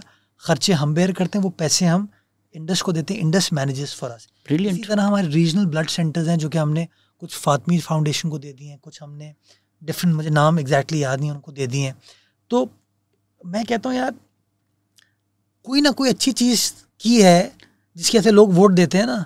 Credit where credit is due Karachi वाले कराची वाले भी कराची वाले भी देखें इस चीज़ को। मैं मान रहा हूँ सर बट अगर खुदा ना खास्ता अभी आपको कुछ हो गया। एक्सीडेंट खुदा ना खास्ता अल्लाह ना करे। आप सिविल हॉस्पिटल जाएँगे आप नहीं अपना इलाज तो आप नहीं करवाएँगे सिविल में। मैं इसका मुझसे किसी और ने भी ये सवाल पूछा कि यार कि आप लोग गवर्नमेंट तो नहीं कराती? चीफ मिनिस्टर साहब पिछले दिनों उनको थोड़ा तकलीफ़ हुई चेस्ट पेन तो वो अपना टेस्ट वगैरह कराने के लिए went to N I C V D I know this for a fact is a very private man does not share things publicly I know this for a fact शायद मुझे बुरा मान जाए कि मैंने पब्लिक कर दी बात. Uh, उनको सी टी स्कैन वगैरह कराना था वो जिना अस्पताल जाते हैं। और आप इसको इंडिपेंडेंटली प्राइवेटली चेक करवा सकते हैं। मैं अल्लाह ताला सेहत दे। आ, मेरे बच्चे इसी मुल्क में पैदा हुए हैं यार। आ, मेरी कौन से हॉस्पिटल में पैदा हुए? ज़ियाउद्दीन हॉस्पिटल में डॉक्टर जो हमारी थी वो उसमें थी। मेरे ख्याल में अभी मेरा भाई मुझे बता रहा था my फुप्पी has Parkinson's she lives in Toronto तो अभी वो गया हुआ था फुप्पी के पास तो आज सुबह ही मेरी उससे बात हो रही थी। मुझे कहते हैं, यार we had some emergency with her we called nine one one it took fifty minutes for the nine one one to arrive Pakistan में अगर कराची शहर में ये हो ना तो आप चीर देंगे। मैं, जब लंदन में पढ़ता था, मेरा जो फ्लैटमेट था उसको एक दिन हार्ट पेन हुआ। तो एनएचएस वालों को मैंने कॉल किया। एक बार कॉल किया, दो बार कॉल किया, तीन बार कॉल किया। Took them out good one hour और little more than one hour for them to bring the ambulance and they asked all sorts of question कि कहीं मैं होक्स तो नहीं कर रहा, मैं कोई मस्ती तो नहीं कर रहा उनके साथ, वो generally is it a medical emergency और नॉट तो अब, कोताहियाँ माजी में हुई होंगी। We are moving in the right direction. You are doing a double one, job. double two. You're doing a good job. कर दी हमने। आपने double one, double two बहुत हम ले आए। मैं जब बसों का मैंने ऐलान किया था शहजाद तो लोगों ने कहा था यार ये भी वही होगा जो पिछले ऐलान थे। बस आ गए ना ढाई सौ बसेज बट मेट डिपार्टमेंट की तरह आपकी बस इकतीस जुलाई वाली डेट एक दो दिन आगे पीछे हो गई थी। कौन सी वाली? आपने I think thirty first July तक बोला था। जनवरी थर्टी फ़र्स्ट जनवरी और डेट एक दो आगे पीछे हो गई थी तो लोग मेट डिपार्टमेंट की तरह आगे बारिश नहीं हुई। बट आ गई। बट सर बात वो ये ना कि दो हज़ार बाईस डबल वन डबल टू बिल्कुल आई है चला दी। बिल्कुल कितनी है अभी मेरे ख्याल से? पच्चीस सौ का आपने वादा किया हुआ है। कितना? ट्वेंटी फाइव हंड्रेड का आपने वादा किया है। पच्चीस सौ तो बहुत ज़्यादा अल्लाह करे। हम पच्चीस सौ कर मैं टू फिफ्टी अच्छा एक ज़ीरो मैंने ऐड कर दिया। Two fifty is the total number वो every month forty ambulances add होती हैं वो चल रही हैं। प्लस आपको मैं एक और चीज़ बताऊँ कि हमने जब वो एक अमल बच्ची वाला इंसिडेंट हुआ था ना जी। तो उस दिन गवर्नमेंट ने फैसला किया कि यार आपको वो पुलिस वाले अरेस्ट नहीं हुए। पुलिस वाले? अमल के केस में was policeman who fired right police का था बट उनका इशू मेडिकल इमरजेंसी का था। देयर ग्रीवेंस वाज कि when we took the child fire was from the policeman because police वो किसी वाज नॉट कन्विक्टेड मुझे नहीं पता उसका एग्जैक्टली exactly मुझे याद नहीं I can't make a statement here but वो क्रॉस फायर थी कोई डकॉइट था जिसकी फायर में वो बच्ची इंतकाल कर गई। But grievance of the family was कि जब हॉस्पिटल पहुँचे तो हॉस्पिटल ने ट्रीट नहीं किया बच्चे को। गए थे ना मेरे ख्याल नाम किसी का नहीं लेता ताकि वो कल को लोग बुरा मान जाएँगे। तो हमने उस जब देखा इशू तो उसको आइडेंटिफाई करने के लिए हमने उस ज़माने में फ़ैसला किया कि हम अपनी ये double one double two service लेकर आएँगे। पहले ले आनी चाहिए थी आ, लेट हुए। हमने 18 में अमन फाउंडेशन जो एंबुलेंस चलाता था ना we took over those ambulances उनकी 60 एम्बुलेंसेज चलती थी। We took over those ambulances जिनका कॉस्ट था साल का तकरीबन पैंतालीस करोड़ रुपए। और अमन एक बहुत ही सब्सिडाइज पैसे चार्ज करता था उस एंबुलेंस सर्विस प्रोवाइड करने के। हमने उसको एब्सोल्युटली फ्री कर दिया। Sixty ambulances we were running in Karachi and twenty five we were running in Thatta in Sujawal so eighty five ambulances we had two fifty we are adding further तो this will be about three thirty three forty ambulances फिर हमारे जो existing hospitals की existing ambulances हैं हम कोशिश करें हम उसको भी इसके साथ इंटीग्रेट कर दें तो होपफुली ये नंबर जो है ऊपर जाता जाएगा। And these are fully equip proper ambulances with vent oxygen life support and paramedical staff free of cost credit where credit is due चार दिन में आपकी एनिवर्सरी भी है। कॉन्ग्रेचुलेशन एडमिनिस्ट्रेटर बनने की फिफ्थ अगस्त को बने थे ना आप? मुझे याद होती है चीज़। आपको याद नहीं है? The day which change my life I don't know for the better but change my life शायद इतने प्यार भरे अल्फाज कभी सुनने को ना मिले हो ना उम्मीद हो के सुनने को मिले होंगे। But the point is as a Karachiite who lived all his life in Karachi आइट जिसने बाहर जाके भी थोड़ी दुनिया देखी है जब मैं देखता हूँ 2022 में एक बस आ रही है। ये नहीं कि बुरी चीज़ है बहुत अच्छी चीज़ है अल्लाह का शुक्र है कि बस आई है। बट सिंध गवर्नमेंट पीपीपी अठारहवा साल नहीं सॉरी दस साल वो हो गए चौदह साल। चौदहवा साल चल रहा है। थिंग्स लाइक अ बस थिंग्स लाइक एन एंबुलेंस बहुत ईदी साहब एक लेजेंड है। पर जब लोग कहा जाते हैं दुनिया में एक ही जी क्योंकि वहाँ ईदी साहब की ज़रूरत नहीं है क्योंकि गवर्नमेंट एम्बुलेंसेज देती है। एनएचएस की हज़ार ख़राबियाँ होंगी बट एक नेशनल हेल्थ सर्विस तो है। सो द फैक्ट दैट हमारी एम्बुलेंसेज भी प्राइवेट थी और अब जाकर एक बस आ रही है मुझे फील लाइक यार चौदह साल बाद ये एक ऐसी चीज़ें हो रही हैं जो शायद चौदह साल पहले हो जानी चाहिए। जिस तरह शहजाद आपने कहा ना credit where it's due criticism should also be taken in the right manner point is well taken मैं समझता हूँ कि जहाँ गवर्नमेंट ऑफ़ सिंध ने अपने हेल्थ केयर के निज़ाम को बेहतर बनाने के लिए बड़ी इन्वेस्टमेंट की यूनिवर्सिटी स्ट्रक्चर को बेहतर बनाने की, वो की, अपने जो प्रोविंशियल हाईवेज़ हैं रोड नेटवर्क्स थे, उनको बेहतर बनाने की कोशिश की। Transport is one area which was neglected हम नहीं कर पाए। इसमें मैं पब्लिकली कहता हूँ देवर इशूज़ हम नहीं कर पाए। बट हमने पिछले साल ये फैसला किया यार we will somehow make sure कि दिस हैपन्स हमने बजट में पैसे अप्रूव कराए और माशाल्लाह it has happened and now we are the direction is very clear ये 250 नई बसेस आ गई हैं. 20 बसेस हमारी जो ईदी लाइन है जो ऑरेंज लाइन ग्रीन लाइन के साथ इंटीग्रेट होगी उसकी बसेस भी आ गए होपफुली एंड ऑफ़ अगस्त उसको भी हम इनाग्रेट uh, uh, कर देंगे. इंफ्रास्ट्रक्चर हमने उसका बना लिया है. रेड लाइन मंसूबा हमारा जो है जो कि अप्रॉक्सीमेटली हंड्रेड बिलियन रुपीज़ का प्रोजेक्ट है उसके ऊपर काम स्टार्ट हो गया है। ट्रांजैक्शन अवार्ड हो चुकी है ठेका शेका मिल चुका है। ऑन ग्राउंड काम शुरू हो गया दो लॉट्स हैं उसके एक आपका जो सफूरा मौसमियात वाली साइड है और दूसरा नुमाइश वाली साइड पे काम ऑन ग्राउंड इस वक्त आपको होता हुआ नज़र आ रहा है। इस साल के बजट में फिर हमने साढ़े चार अरब रुपए डाले हैं नई बसेस को मज़ीद प्रोक्योर करने के लिए। तो यस खामियाँ थी प्रॉब्लम्स थी बट नाउ आई थिंक हमने उन प्रॉब्लम्स को ओवरकम कर लिया and now we are moving in the right direction और होपफुली होपफुली टच वर्ड ये जो प्रोग्रेस है ये इसी तरीके से चलेगी। कोई शिकायत कर रहा था कि कोई खातून है उनके उनको एक बड़ा मसला आ रहा था कि वो बस स्टॉप पे काफ़ी देर रुकती हैं बस नहीं आती। अभी कम बसेज हैं और आएँगी या कुछ इशू। है ये? टू थर्टी बसेज हैं कराची शहर की बीस बसेज हैं लड़काना के लिए। उन टू थर्टी बसेस को कराची के सात डिफरेंट रूट्स पे चलाया जा रहा है। मेरे ख्याल में पर रूट शायद थर्टी फाइव फोर्टी बसेज हैं depending on the depending on how important the route है जैसे शार फैसल पे शायद फोर्टी फाइव बसेज ऑपरेट करती हैं। तो कभी कभार शायद ट्रैफ़िक कंजेशन की वजह से देर सवेर हो जाती है। मैं खुद दो बार मैंने she also said there is no schedule. You have to wait. Is there a schedule कि यार 10:30 आएगी तो 10:30 no, no, आएगी। वो यार वो इसलिए नहीं हो सकता। ये शेड्यूल है हमारा कि इतने बजे स्टार्ट होगी और इतने बजे ख़त्म होगी। बट वो मिनट टू मिनट अभी नहीं हुआ। उसकी वजह ये है कि कोई डेडिकेटेड रूट नहीं है इसका। तो एक नॉर्मल जो रूट है उस पर चलती है तो कभी कभार ट्रैफ़िक कंजेशन जैसे मसाइल होते हैं। अगर इसका डेडिकेटेड रूट होता ना तो उसके अंदर तो आप टाइम फ्रेम दे सकते हो कि हाँ यार थ्री मिनट्स में it will arrive it will arrive in five minute तो वो हमें प्रॉब्लम हो रही है। बस स्टॉप्स बहुत सारी जगहों पे हमारे अभी नहीं बने। उन बस स्टॉप्स को के ऊपर काम हो रहा है। पिछले दिनों मिनिस्टर ट्रांसपोर्ट ने डायरेक्शन इशू किए हैं it has to be expedited and hopefully in the next few weeks वो बस स्टॉप का इशू रिजॉल्व हो जाएगा। इसका आईटीएस सिस्टम अभी तक फाइनलाइज नहीं हुआ। मैनुअल टिकटिंग हो रही है। उसको भी ऑटोमेट करने का प्रोसेस चल रहा है काम चल रहा है। मंथली पास बना दें। जी जिस तरह ऑयस्टर वगैरह होता है जी अच्छी चीज़ है। वी आर गोइंग टूवर्ड्स हमारे लिए you know it's a learning curve क्योंकि अनएक्सप्लोर्ड टेरिटरी थी ये। हम नहीं कर पाए थे। तो हम खामियों को भी एड्रेस करें और सीख भी रहे हैं चीज़ों को।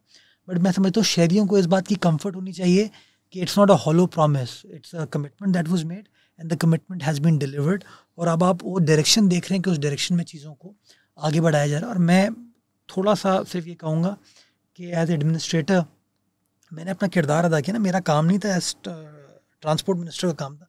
But because I am part of the government I kept hammering on this point double one double two मेरा काम नहीं था। I kept hammering on this point World Bank से बात करनी, इससे बात करनी। तो मेयर भी जो हमारा है ना वो कहते हैं historically mayor is the father of the city तो जो शहर का बाप है उसको फिर बाप वाला किरदार अदा करना चाहिए उसको फिर लोगों को रीच आउट करना चाहिए। अनफॉर्चुनेटली माजी में ये नहीं हुआ। मैं अपनी ईगो को सेटिस्फाई करता हूँ। मुझे कोई इशू नहीं है कि अगर मुझे किसी के पास जाना पड़े आ, अपना इशू लेके बात करनी पड़े। मैं करता हूँ कोशिश करता हूँ मसाइल हल हो पाए। तो इंफ्रास्ट्रक्चर को शहर में बेहतर बनाने के लिए कुछ बहुत अच्छी चीज़ें शहर में अभी हो रही हैं। जैसे मैं एक we are a beach city right but हमारा आपने बनाया ना। हमारा जो पूरा समंदर की रोड थी तबाह थी। आज आप जाएँ तो सिचुएशन हैज़ चेंज अभी बारिशों में प्रोटेस्ट हो रही थी। प्रोटेस्ट तो हो सकती है लोगों की पानी के क्योंकि वो पानी खड़ा खड़ बंद नहीं हो गया था बीमारीपुर रोड एक भी कुछ घंटों के लिए भी नहीं हुआ। आप जाके डॉपलर अपडेट्स पे आया हुआ था। आप आप हम एक दिन ऐसा करेंगे इसी तरह का पॉडकास्ट कोई हम ऑन द रोड कर सकते हैं। वो पूरी चीज़ हमने अब बना ली है। मौरीपुर रोड बहुत ही बुरा था।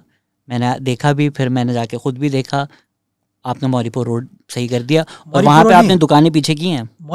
पीछे की हमने। जब भी तो एक्सपैंड हुई ना वो थ्री लेन ट्रैक बन मौरीपुर रोड बनाई सैंडस्पिट रोड बनाई है। अभी हम मछली चौक से कैनप जो रोड जाती है उस पर के काम करिए we spending about eight hundred million rupees on that road approximately thirteen kilometers six lane track इस वक्त काम चल रहा है। Hopefully in a month's time वो भी काम कंप्लीट हो जाएगा। एक फिर बीच में पैच बचता है। जो कि वाई जंक्शन से मछली चौक को कनेक्ट करता है, उसके ऊपर भी इस वक्त काम चल रहा है। As you speak and I am confident इनशाला उसको भी दो तीन महीने में कंप्लीट कर देंगे तो आपका बीच वाला एरिया क्लियर हो गया। हम एक एलिवेटेड एक्सप्रेस वे बना रहे हैं, जो कि आई सी आई ब्रिज से उठेगा और आपको वाई जंक्शन पहुँचाएगा। डेडिकेटेड रूट टोल होगा उसके ऊपर, उसको हम लेके जाएँगे। Again that will further improve the situation Malir expressway इनशाला दो साल का टाइम है, इसके कम्प्लीशन का काम शुरू हो गया है। उसके कच्चे रास्ते पे एक दिन मैं गया था। इट टुक मी शहजाद मैं इम्तियाज़ है ना कईयों बाद वाला उससे चढ़ा था और मैं अनवर बलोच वाला जो मलिर का ब्रिज है ना वहाँ मुझे ट्वेंटी फाइव मिनट्स लगे कच्चे रास्ते में पहुँचने में। तो इन जब ये प्रॉपर बन जाएगा तो आपकी जो एयरपोर्ट की कम्यूट है वो रिजॉल्व हो जाएगी बहुत आसानी से। मलिर एक्सप्रेस वे पर भी लोगों ने शिकायत की है कि कुछ लोगों को सही कॉम्पनसेशन नहीं मिली जिनकी ज़मीन ली गई है। नहीं मलिर एक्सप्रेस वे पे डिफरेंट लोगों के क्रिटिसिज्म है। जो ज़मीन के हवाले से क्रिटिसिज्म था, वो एड्रेस हो गया इस तरीके से कि हमने उसके रूट को थोड़ा सा रीअलाइन किया है, जिसमें जो अफेक्टेड विलेजेस थे, उसकी नंबर बहुत ही मिनिमम हो गया है। तो इट्स फ्यू हाउसेज नाउ और a few dozen houses which are going to be affected अब वो वाइड स्प्रेड प्रॉब्लम उसकी नहीं, उसके लिए हमको थोड़ा सा रूट की ट्वीकिंग करनी पड़ी। क्रिटिसिज्म जो हो रहा है, वो कुछ इन्वायरमेंटलिस्ट हमारे कर रहे हैं और वो ये कहते हैं कि आप मलिर के फ्लो को रोकेंगे। जो हमारे टेक्निकल एक्सपर्ट्स हैं जो कंसल्टेंट्स हैं वो कहते हैं वो इसका प्रॉब्लम नहीं होगा। उसका ईपी अप्रूवल वगैरह का जो प्रोसेस होगा ना एक लीगल उसका हुआ था उसमें बड़ा हंगामा हुआ था कुछ लोग गए थे उन्होंने बड़ा प्रोटेस्ट किया बट आई बिलीव वो अप्रूवल उसका हो गया। तमाम उसकी जो जो स्टडीज़ वगैरह होने की ज़रूरत थी वो स्टडीज़ हुई हैं और जिस तरह लियारी एक्सप्रेस वे बना है it is a replica of Lyari expressway so hopefully once Malir expressway is build traffic congestion issues overall in the city will significantly reduce and we will have um, a much better commute. Similarly, हर साल E B M causeway पे पानी आ जाता है बारिश से। Bridge approve कर दिया। सी एम साहब ने 1.6 किलोमीटर्स का approximately five five and half billion rupees की कॉस्ट होगी उसकी अप्रूवल uh, दे दिया है उसका हमने। कल कैबिनेट से उसका अप्रूवल भी हम इतने जल्दी अप्रूवल आ रहे हैं मुझे लग रहा है इलेक्शन की तरफ़ जा रहे हैं। यार ये, ये तो इलेक्शन टाइम अप्रूवल स्पीड है। असल में होता ये हम चीज़ों को अब हैमर कर रहे हैं लगे रहते हैं। मतलब मैं आपको अगर आप मेरे साथ बैठे और मैं I love to take you out to the intervention that we made अब जैसे बलोच कॉलोनी एक्सप्रेस वे ना तबाह है अगर आप जाओगे राइट आप इंशाल्लाह बारिशें जैसे ही ख़त्म होंगी उसके ऊपर आप काम होता हुआ देखोगे। उसको मैं एक्सपैंड भी कर रहा हूँ और जो एक लेन ख़राब हो गई एक वाटर लाइन डली थी उसको भी हम ठीक कर रहे हैं। मेवा शाह कब्रिस्तान आप जाते थे बुरा हाल है नई रोड बना के दे रहे हैं। एक और काम बहुत सारा शहर के अंदर हो रहा है। एक और बड़ा अच्छा काम है दो महीने में इंशाल्लाह कंप्लीट हो जाएगा। आपके नेशनल हाईवे को सुपर हाईवे को जो लिंक रोड कनेक्ट करती थी उसको भी हमने बना दिया two months it will be इंशाल्लाह। The K four no no no K four नहीं this is the road link road कहते हैं इसको। ये आपका जो पोर्ट कासिम का ट्रैफ़िक है अपवर्ड्स उसको पहले बहुत ही कच्ची रोड से जाना पड़ता था। जो लोग मलियस के साइड पर रहते हैं, उनको गडाब जाने के लिए कच्चे रास्ते से जाना पड़ता था। तो अब आपके पास एक कनेक्शन बन गया between national highway and super highway तो वो एक बहुत बड़ा इंटरवेंशन होने जा रहा है। उसके अलावा कराची की मुख्तलिफ़ सड़कों पे काम हो रहा है ऑल डिस्ट्रिक्ट्स के अंदर। पार्कों पे बहुत बड़ा हमने पब्लिक स्पेसेस के ऊपर हमने बड़ा काम किया। People square was a great success हमने जो मनोड़ा पे बीच फ्रंट प्रोमेनाड बनाया दैट्स अ ग्रेट सक्सेस तो हम इस तरह की पब्लिक स्पेसेस को ठीक करने की कोशिश कर रहे हैं। Kidney Hill is a place where I I am very fond of it I think it's अगले पाँच छः साल में एक बहुत बड़ी अट्रैक्शन होगी इस शहर के लिए। तो बहुत सारी इस तरह की चीज़ें शहर के अंदर मैं just ask you about the road since you are also a lawyer मेरे एक दोस्त हैं वो अमेरिका में रहते हैं वो जब तीन चार साल बाद आते हैं बोलते हैं मैं पंद्रह साल से आ रहा हूँ ये रोड टूटी हुई है बनती क्यों नहीं है? मैं उनको बताता हूँ कि हर साल बनती है। कौन सी रोड है ये? पी सी एच एस की एक उनके घर के बाहर की गली है। वैसे? आप अगर तारिक रोड से तीन गलियाँ पीछे जाएँगे। अंदर की गली है? जी अंदर की गली तो है। इस पे भी आपको तो द पॉइंट बड़ा मास्किंग है। जब रोड के कॉन्ट्रैक्ट्स दिए जाते हैं इसमें ऐसा कोई क्लॉज होता है कि यार अगर ये दस साल के अंडर टूट गई तो आप इसका खर्चा बढ़ेंगे। या ये कुछ कॉन्ट्रैक्ट क्योंकि from the outside it seems like वो डिलिबरेटली रोड बुरे बनते हैं ताकि हर साल कॉन्ट्रैक्ट उनको मिले। इसका जी। A very good point since आप पी में रहते हैं तो you can understand what I am saying Tariq road नहीं बनी। छः साल हो गए बने हुए। The road is fine Khalid bin Waleed road नहीं बनी। छः साल हो गए इट्स फाइन शार फैसल नहीं बनी। छः साल हो गए it's fine what is the difference जितनी भी नई सड़कें हमने बनाई हैं, उनमें पहला काम हम करते हैं drain storm water drain sewerage उसके बाद सड़क को बिल्ड करते हैं, उसके बाद उसको हम कारपेटिंग करते हैं। ये होता है सस्टेन सस्टेनेबल तरीका डेवलपमेंट का। जितनी भी over the last six years scanned station आप जाओगे सिविल लाइन्स जाओगे मैंने मारीपुर की बात की सैंडस्पिट रोड की बात की साइड की नई सड़कें बनाई हैं। जहाँ जहाँ नई सड़कें हमने बनाई हैं जहाँ पे ड्रेनेज को और सेवरेज को पहले काम किया गया नई लाइन डाली है तो university road they have university road का बहुत बुरा हाल था अभी बारिशों में। मैं बताता हूँ। यूनिवर्सिटी रोड हमने हसन स्क्वायर से स्टार्ट की हसन स्क्वायर से लेके नीपा तक there is absolutely no issue on both sides एक जगह पे वफाकी उर्दू यूनिवर्सिटी के सामने पानी खड़ा होता है बिकॉज़ वो एक नाले का प्रॉब्लम है. But road quality is absolutely fine Nipa आप क्रॉस करते हो ना, उसके बाद कोने पे एक हाइड्रेंट है। उस हाइड्रेंट की वजह से और सफारी पार्क के सामने रोड डैमेज हुई है। आप एन वाली साइड से ऑल द वे मौसम याद जाओगे रोड इज़ फाइन ये मैंने देखी है, इसलिए मैं बात करूँ तो point I am trying to make is जो नई रोड बनती है विद प्रॉपर प्लानिंग जिसके अंदर ड्रेनेज को सेवरेज को प्रॉपरली किया जाता है ना, वहाँ पे आपको ये प्रॉब्लम नहीं होती। और Tariq road you can associate with it कि उसका ख़राब हाल नहीं हुआ, उसकी वजह यही है। ये जो रोडें टूट जाती हैं, उसकी वजह ये होती है, जब सड़क टूटती है तो आप क्रिटिसाइज़ करते हैं। मैं क्रिटिसाइज़ करता हूँ फलां ढमकाना सब क्रिटिसाइज़ करते हैं। तो एडमिनिस्ट्रेशन क्या करती है? वो आके उसकी कारपेटिंग करके चले जाती है। कारपेटिंग का मतलब क्या होता है? वो जो ऊपर ऊपर से। हाँ? ऊपर से। लेपा पोती जिसको कहते हैं ना आपको। That's a short term measure that can give you relief for a month month and half to months but that is not a solution which is sustainable अब होता यही जैसे अभी कराची शहर की सड़कों का बुरा हाल है। अब लोगों का क्रिटिसिज्म है। क्रिटिसिज्म मेरे ऊपर हो रहा है। ये एडमिनिस्ट्रेशन के ऊपर हो रहा है या मिनिस्टर्स के ऊपर हो रहा है। तो वो उस क्रिटिसिज्म से निकलने के लिए क्या करेंगे? यार चलो ठीक है इसको रोड को कार्पेटिंग कर दो। वट इज़ द वर्ड उसको कहते हैं? पैच वर्क कर दो। ठीक है? वो पैच वर्क होगा डेढ़ दो महीने बाद वो वेर एंड टेयर में ही ख़राब हो जाएगा। आइडियली सस्टेनेबल तरीका यही है कि आप रोड को अफ्रेश बनाएँ। अफ्रेश बनाने का मतलब है सेवरेज ड्रेनेज प्रॉपरली हो, उसके बाद आप उसके ऊपर रोड बनाएँ। मैं लियारी की आपको एग्जांपल दूँगा। ककरी ग्राउंड के सामने रोड है, उसको कहते हैं मिर्ज़ा। शायद नाम में कंफ्यूज हो रहा हूँ, गलत नाम ले दूँगा। बिल्कुल ककरी ग्राउंड के सामने रोड है। एक ज़माने बिल्कुल तबाह थी वो रोड वो हमने अभी पिछले तीन साल में बनाई है। और तीन साल में आपके सामने 2020, 21 और अभी बाईस की बारिश हुई। आप अभी उसके ऊपर चले जाएँ I am not telling anyone the road is absolutely fine why because उसकी पहले ड्रेनेज को सेवरेज को ठीक किया गया उसके बाद उस रोड को बनाया गया। तो जितनी भी नई डेवलपमेंट अब गवर्नमेंट ऑफ़ सिंध कर रही है वो उसके अंदर पहली चीज़ यही है चीफ मिनिस्टर कहते हैं कि यार drain sewerage and then we go for road construction so anything which will be like this will be sustainable which will be uh, based on long term. Patch work करेंगे it's a matter of a few months के it will wither away sir ऐसा लग रहा है आपसे पहले तो किसी को ये चीज़ें समझ में नहीं आती थी। आप जब कह रहे हैं तो बेसिक लग रही है। What has stop the Sindh government for doing these basic things funds इसी मेरे पास जितने पैसे होंगे मैं उस हिसाब से वो पैसे लगा पाऊँगा ना। We are not a very rich country we not a very rich state right you feel like Sindh also gets less resources compare to proper Punjab मैं अगर उसकी एग्जांपल है अगर आप लाहौर से इस्लामाबाद जाएँ इस्लामाबाद से पेशावर जाएँ लाहौर से मुल्तान आएँ लाहौर से सियालकोट जाएँ ये सारे मोटरवेज अच्छे बन गए। कराची हैदराबाद आपने देख लिया फेडरल गवर्नमेंट ने बनाया उसका हाल क्या है। हैदराबाद से सखर अभी तक इन्होंने बनाया नहीं है। तो Sukkur onward is great Sukkur onward right and we are the trade route मतलब पोर्ट हमारे पास है it should ideally start from here but unfortunately वो नहीं हुआ। मैं जब फेडरल गवर्नमेंट के बजट को देखता हूँ, उनका जो बजट पोर्टफोलियो को कहते हैं public sector development portfolio P उसके अंदर जब मैं सिंध की स्कीम्स देखता हूँ तो मुझे स्कीम्स नज़र नहीं आती। This is a grievance that we as a province have and I think which needs to be addressed you know आपके सामने है मतलब Karachi, Hyderabad is not a motorway right federal government ने बनाया है।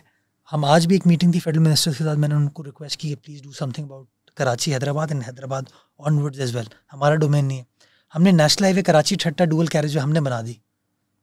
बिकॉज़ हमारा बिज़नेस सफ़र करा था और हमें पूरा ट्रेड रूट थर तक क्रिएट करना था। तो वी बिल्ट इट आपका पूरा रोड आप शार फैसल से निकलो। ऑल द वे टू थर हमारी रोड फैंटास्टिक है।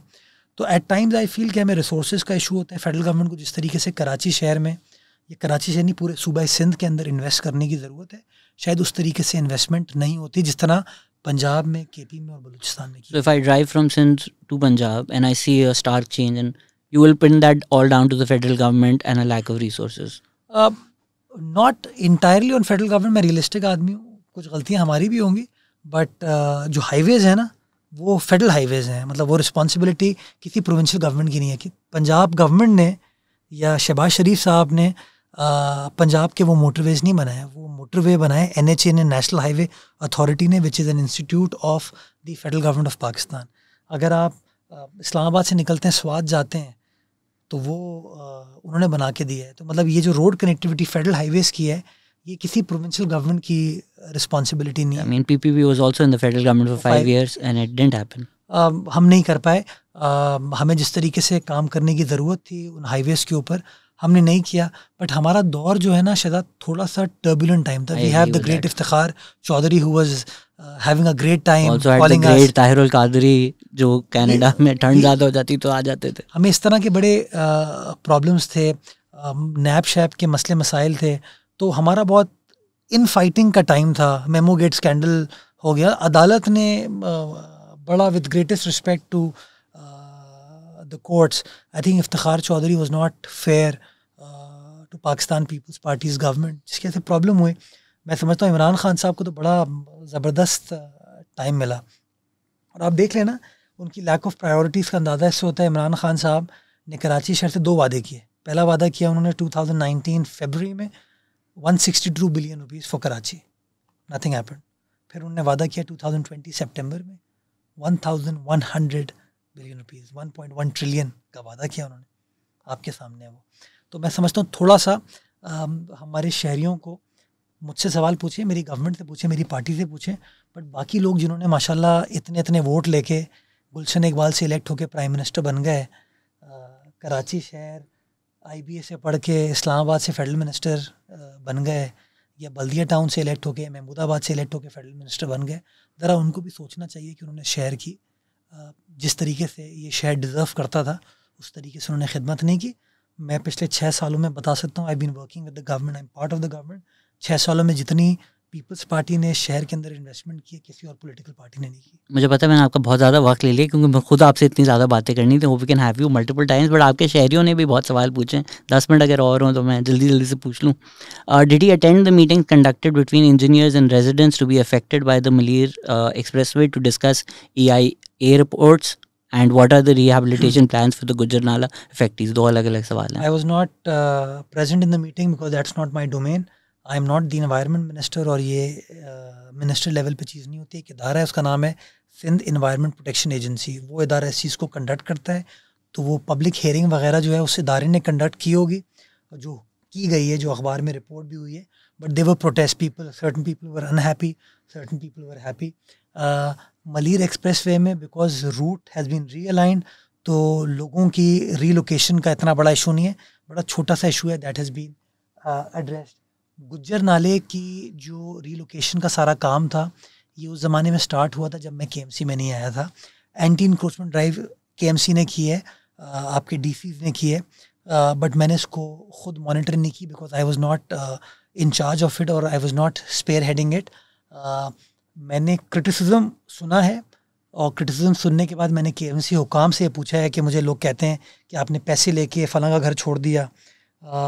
मुझे किसी ने कहा कि किसी अफसर ने, किसी खातून को सेक्सुअली हरास किया था उस बंदे को मैंने सस्पेंड किया, उसके ख़िलाफ़ इंक्वायरी इनिशिएट की।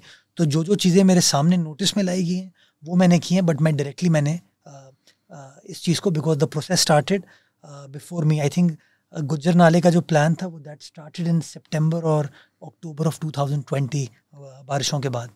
How much time for K4? What are the roadblocks in that? And what has he done on curbing tanker mafia? Um, K4 uh, will take a lot of time. Um, and I'm being very candid uh, because the investment that is required for K4 is approximately 120 125 billion rupees. Federal um, government ने अपने budget में शायद इस साल पाँच अरब रुपए रखे हैं तो यू डू द मैथमेटिक्स कि अगर 120 अरब रुपए रिक्वायर्ड हैं और अगर पाँच अरब रुपए आपने बजट में रखे हैं तो ये एक साल में तो नहीं हो पाएगा। तो it will take couple of years वापडा इसको अंडरटेक कर रहा है इस प्रोजेक्ट को। Uh, दूसरा सवाल था tanker mafia as administrator K M C water and sewerage board मेरे अंडर नहीं आता। अब जो नया लॉ हमने प्रपोज किया उसमें मेयर और administrator will become the chairman of the board right now I am only a member of the board तो मेरे पास वो एग्जीक्यूटिव कंट्रोल uh, नहीं है। uh, लेकिन टैंकर माफिया के हवाले से मैं ये ज़रूर कहना चाहूँगा कि ऐसे एक्सपेरिमेंट्स बीच में हुए हैं जब आपने टैंकर्स uh, को बंद कर दिया था। तो उसका भी नुकसान शहरियों को हुआ था बिकॉज़ जैसे मैंने आपको समझाया टेल एंड एरियाज़ में पानी नहीं पहुंचेगा। टैंकर भरते कहाँ से हैं? Because I also seen them fill water इधर सीवू के बिल्कुल एंड पे दुआ रेस्टोरेंट के आगे अगर जाएँ। बताता हूँ। ये हाइड्रेंट्स का बड़ा इंटरेस्टिंग कॉन्सेप्ट है। वो बहुत सारी चीज़ें आपको फ़र्स्ट टाइम इसलिए पता चल रही होंगी क्योंकि मैं मैं ऑन ग्राउंड देखता हूँ चीज़ों को। इंक्वायर करता हूँ।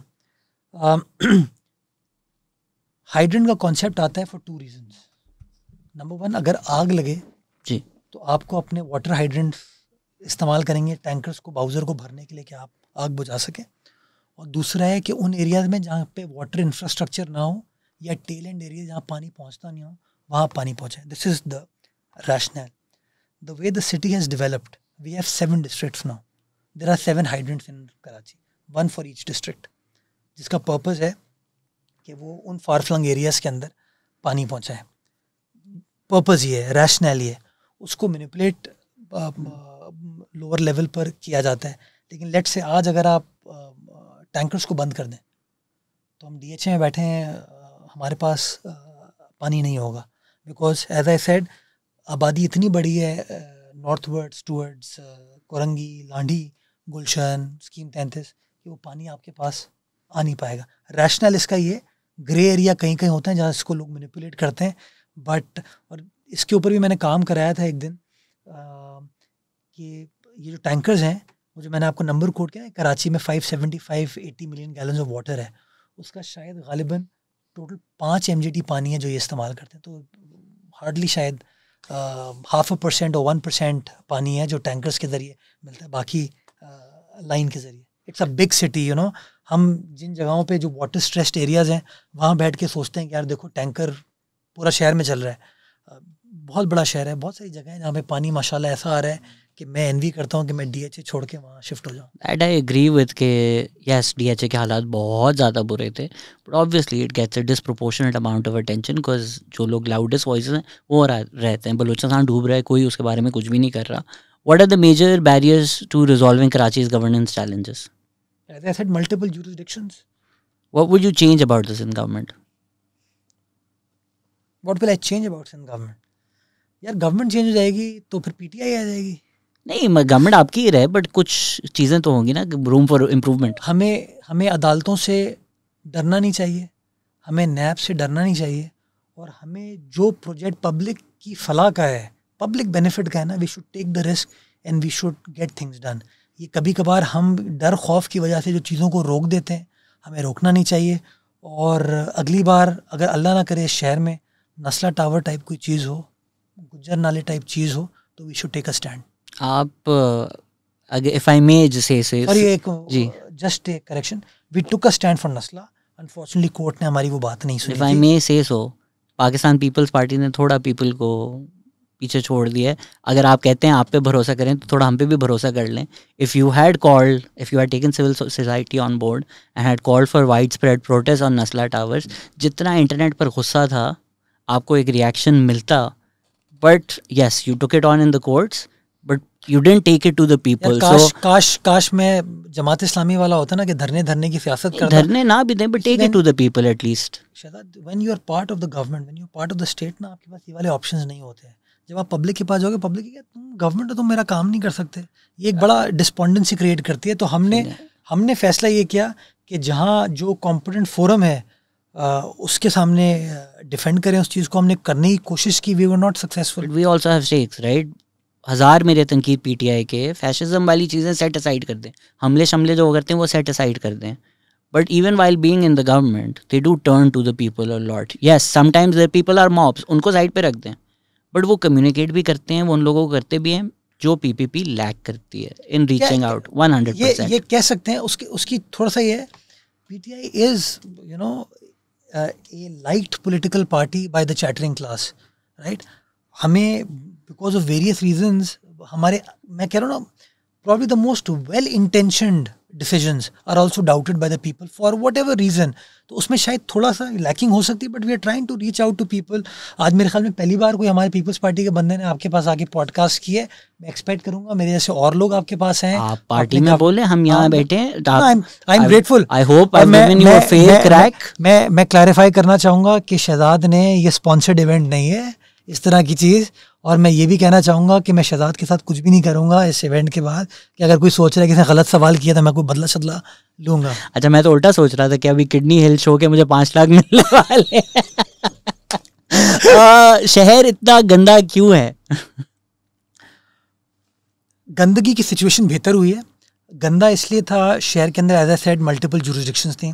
आप ये बाइफरकेट नहीं कर सकते कि ये कौन सा एरिया है कौन सा एरिया है। तो after very long time Karachi का जितना भी डीएमसी का एरिया था या टाउन का एरिया था that has now come under the control of Sindh solid waste now the entire city is under our control apart from cantonment areas और federally administered areas जिसकी वजह से मैं समझता हूँ कि कचरे की कलेक्शन का प्रोसेस बेहतर हुआ है it's still not ideal but उसमें थोड़ा सा मैं शहरीों से एक रिक्वेस्ट करना चाहूँगा। हम सफ़ाई नसफ ईमान में बिलीव करते हैं और हम बिलीव करते हैं to the extent of our houses to the extent of our shops office हम अपने घर को तीन बार साफ़ करते हैं तीन बार कचरा बाहर फेंकते हैं। जो आपके सैनिटरी वर्कर्स हैं वो प्रैक्टिकली तीन बार वो कचरा नहीं उठा सकते। आप वेस्ट में जाएँगे आप किसी और मुआशरे में जाएँगे वहाँ हफ़्ते में एक दिन तय होता है वो आपके घर के बाहर आते हैं एक दिन के अंदर से वो उठाते हैं थैली से और वो कचरा जाके ले जाते हैं। अनफॉर्चुनेटली हमारे मुल्क में हम एक्सपेक्ट करते हैं कि कचरा राउंड द क्लॉक होगा जिसकी वजह से प्रॉब्लम होता है। इसमें मैं समझता हूँ और मैं इसकी आपको एग्ज़ाम्पल दूँगा। आप रात को अभी चले मेरे साथ ग्यारह सवा ग्यारह बज रहे हैं। We go to Zaibunnisa street मुझे लगता है आज खाना खिला रहे मुराद साहब ही है मुझे। जितनी दफ़ा इन्होंने मुझे बोला है ना साथ चले। मुझे लगता है अब्दुल्ला आज आज डिनर आज- आज डिनर तो है हमारा पक्का। कहीं मैं कहीं और ना ले जाऊँ आपको हाँ। तो जेबुनसा स्ट्रीट पे आप आएँगे जैना मार्केट को क्रॉस करें बोरी बाज़ार क्रॉस करें इलेक्ट्रॉनिक्स मार्केट जाएँ आपको कचरा नज़र आएगा अभी। वो आप सुबह जाएँगे आठ बजे कचरा नहीं होगा लेकिन दोपहर को फिर जाएँगे आपको कचरा पड़ा हुआ नज़र आएगा। क्यों? क्योंकि लोग अनफॉर्चुनेटली तो थोड़ा सा हमें अपनी हैबिट्स को भी ठीक करने की ज़रूरत है। Yes the government the solid waste department needs to improve its performance further yes but at the same time हमें भी थोड़ा सा चीज़ें समझने की ज़रूरत है कि कचरा दिन में तीन बार, चार बार नहीं उठाया जा सकता। हम जो खान साहब वाले वेस्ट की बात करते हैं, उस वेस्ट के अंदर जो है it has the same solution as water treatment जिस तरह पी सी एच एस का आपने ज़िक्र किया। एक कोई जगह बनाई हुई है वहाँ भी लोग कचरा फेंकते हैं डायरेक्ट थैलियों में भी नहीं होता। एक वो जो लिफ्टर आता है वो उठाता है वो डंप ट्रक में डालता है आधा बाहर गिरता है आधा गिरता है वो गंदा ही रहता है। आप सिस्टम कोशिश तो करें कि भाई लोग थैलियाँ बांधें सुबह चार बजे पाँच बजे न्यूयॉर्क में भी उस, उस टाइम आता है वो उठाएँगे और फिर अगर किसी की गली गंदी हुई फाइन लगा दें उन पर। फाइन तो यार क्या लगेगा कुछ स्टे ऑर्डर ही आ जाएगा उसके ऊपर हमारे खिलाफ। आप लगा के तो देखें। मैं मैं आपको बताऊँगा कभी इसके ऊपर और लंबा प्रोग्राम हो जाएगा।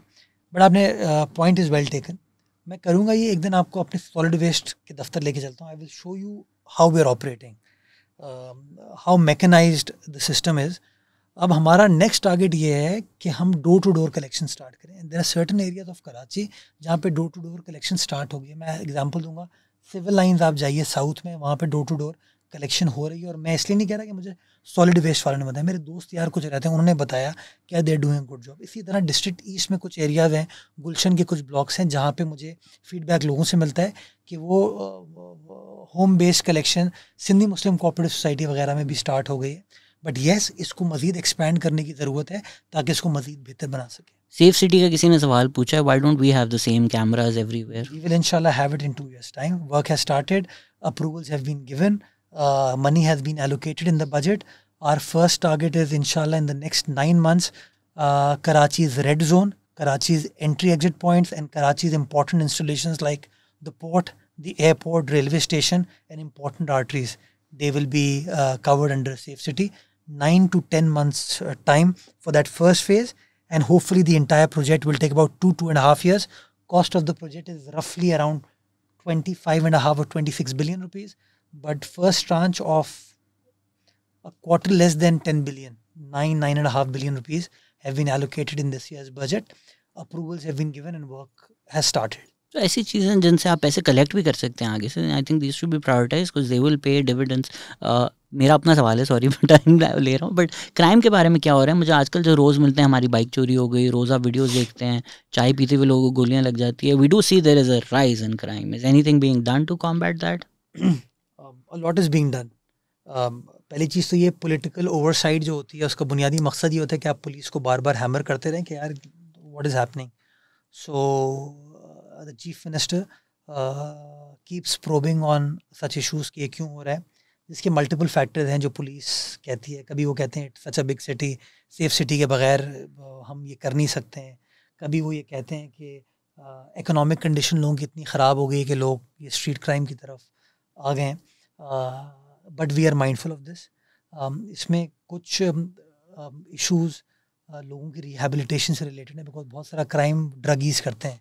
और पुलिस का एक पॉइंट ऑफ़ व्यू है कि हमें उन ड्रगीज़ को मेन स्ट्रीम में लाने की ज़रूरत है उनको रिहेबिलिटेट करने की ज़रूरत सही पॉइंट है। तो वो रिहेबिलिटेशन के ऊपर भी हमने पब्लिक प्राइवेट पार्टनरशिप में अब काम आ, का प्रोसेस स्टार्ट कर दिया है। तो पॉलिटिकल ओवरसाइट जो कि डेली बेसिस पे होती है वो हो रही है। बट ये जो टेक्नोलॉजी प्रोन फैसले हमने लिए हैं इनके डिविडेंड्स इंशाल्लाह एक सवा साल में आना शुरू हो जाएँगे। Why K M C and D M C are not accountable to anyone शायद ये गलत सवाल है क्योंकि आप तो कह रहे हैं कि कोर्ट्स आपकी सांस नहीं लेने देते। मैं नहीं कह रहा हूँ तो लोगों को नज़र आता है। We are accountable Waseem Akhtar साहब मेयर थे तो he was elected by the people he again election अभी लोकल गवर्नमेंट के होंगे दिल को सो अकाउंटेबिलिटी तो ये होती है। uh, इसी तरह डी एम के टाउन्स के इलेक्शन होंगे तो अकाउंटेबिलिटी है। अनफॉर्चुनेटली मैं आपको बताऊँ, मैं कन्विंस्ड हूँ कि इलेक्शन होने के बाद अगर पी टी आई या जमात इस्लामी टाइप कोई बंदा शहर का मेयर बनता है, वो आज धरना दे रहे हैं ऑपोजिशन में बैठ के कल धरना देंगे मेयर बनने के बाद कि हमारे पास इख्तियार नहीं बिकॉज़ लोगों ने एक आसान हल निकाल लिया है लोगों को डाइग्रेस करने का, उनकी अटेंशन को स्वे करने का कि यार no power no responsibility right I think पिछले बारह महीने जिस तरह लोग मुझसे सवाल पूछ रहे हैं काश लोगों ने वसीम अख्तर से सवाल पूछा होता। मैंने कुछ किया ही नहीं तो उनसे सवाल के तो चला आई एम ग्रेटफुल आपने मुझे कॉम्प्लीमेंट दिया मैंने कुछ किया ना। तो that means authority was not the issue it was the intention that was lacking Why there been no PFC awards since the previous decade? Last PFC award हुआ था 2010 में। पीएफसी अवार्ड पे पॉलिटिकल कंसेंसस ड्रॉ करने की ज़रूरत है। Unfortunately जिस तरह एनएफसी 2010 के बाद नहीं हुआ पीएफसी भी नहीं हुआ। हमने नई जो लोकल गवर्नमेंट की अमेंडमेंट इंट्रोड्यूस की है आ, उसके अंदर हमने एक अमेंडमेंट डाली है उस लॉ के अंदर कि छः महीने के अंदर पीएफसी का फैसला करना होगा आपको। Status of the regular regularization of कच्ची आबादीज़ डिफरेंट हैं कच्ची आबादी डिपार्टमेंट है के एम सी का भी है सिंध गवर्नमेंट का भी है आ, उसमें रेगुलराइजेशन कुछ कुछ जगहों पे हो रही है कुछ जगहों पे नहीं हो रही है बट उसका एक प्रोसेस होता है रेगुलराइजेशन का। Status of mangrove plantations I do feel इसमें काम हुआ है इवन दो काम हुआ है। कुछ हाउसिंग सोसाइटीज में मैंग्रोव्स खा लिए हैं बट लग रहे हैं और जगहों पर। यार दो दो हमने Guinness book of world record हमने बनाए हैं सिंध गवर्नमेंट ने वो प्लांटेशन की थी। इंटरनेशनल स्टडीज़ आईयूसीएन की कहती हैं कि हमारा जो मैंग्रोव कवर है over the last five to six years it has improve by about five and half six percent it also decreased by record numbers उससे पहले। किसी ज़माने में हुआ होगा but it has improve so we are going मैं समझता हूँ प्लांटेशन की अवेयरनेस लोगों में बहुत बेहतर हो गई है। आई थिंक वो जो हमने अपने शहर को भी कॉन्क्रीट जंगल बना दिया था ना कॉर्नो कॉर्पस लगा दो और बस कॉन्क्रीट चीज़ें कर दो आई थिंक चीज़ें अब तब्दील हो रही हैं चीज़ें बेहतर हो रही हैं। और मैं लोगों को देख रहा हूँ कि फूल पौधों से वापस मोहब्बत आप तो मेरे ख्याल से नीम के लगा रहे हैं ना दरख्त मैं नीम के भी लगा रहा हूँ बट मैं नीम का इतना बड़ा फ़ैन इसलिए नहीं हूँ कि neem takes time to grow मैंने अपने एक्सपीरियंस में देखा the fastest growing tree is moringa and gulmohar and I personally really like gulmohar बड़ा खूबसूरत पौधा में भी है हमारी गुलमोहर के साथ बहुत ज़्यादा। तो मैं तो आपको रिक्वेस्ट करूँगा आप जाएँ उधर एम्प्रेस मार्केट एम्प्रेस मार्केट पे मैंने बीवीएस मेरा स्कूल था जहाँ से मैंने पढ़ा। तो स्कूल के बच्चों को लेके गया था मैंने डेढ़ साल पहले पौधे वहाँ लगाए थे। मोरिंगा नारियल नीम गुलमोहर और banyan. Don't you feel Empress since आपने वहाँ बचपन गुजारे? डोंट यू फील बचारों के साथ जाती हुई एम्प्रेस मार्केट पे जो दुकानें थी? यार मैं तो कहता हूँ जिन्होंने ज्यादती की उनसे पूछो ना। गुलजार साहब ही थे पीछे। हुई है मैं बताऊँ देखो यार एक रियलिस्टिकली दस साल का बिगाड़ या बीस साल का पचास साल का बिगाड़ जो है ना आप एक शॉर्ट स्पैन में ठीक नहीं कर सकते।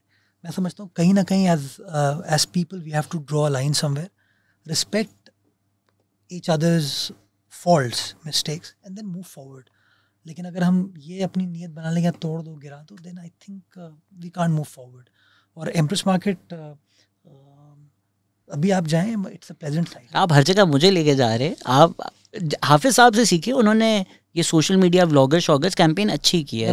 बजट नहीं है यार। आप रीच आउट किया आपने किसी को? आपने इरफान जुनेजो को कभी मैसेज किया कि मेरे साथ व्लॉग बनाओ फ्री में? मैंने मैंने तो आपको भी रीच आउट नहीं किया था आपने कहीं लिखा। यू हैव टू ना यू हैव अच्छी ये बात मैं मैं मैं कह रहा हूँ गलती से सीख रहा हूँ। I have made this this is the first time I have done this so now you have this if any time you want to come you are more than welcome आप पार्टी से और लोगों को बोलना मैं, चाहते हैं। This studio exist now मैं शहजाद आपको भी और, और लोगों को भी कहना चाहूँगा you see it's my city my province my country our place we have to work together we have to respect each other's opinion but work together for the betterment of the situation हम नियत अपनी ये कर लेना criticism से बाहर निकलें ये चोर है डाकू है ख़त्म करें let's work together for improving things, I see tremendous potential, and we can only rise from here if we are decided to make amends right now. If we will live in the past, we won't be able to move forward. Thank you so much for all the work that you do even though आप कह रहे हैं कि सारे politicians को हम चोर डाकू कहते हैं आई थिंक जो आप अच्छा काम कर रहे हैं if I may so give credit to your mother in a party like People's Party जिसको चोर और मिस्टर टेन परसेंट सिनोनिम होता है you wouldn't find a single person who has a negative thing to say about your mother so respect that is earned over years I think आपको विरसे में मिली है वो. सो so, उसका भी very very grateful for such nice sentiments but I will just say something किसी मेरी वालदा किसी पीपल्स पार्टी ने उस जगह पहुँचाया ना?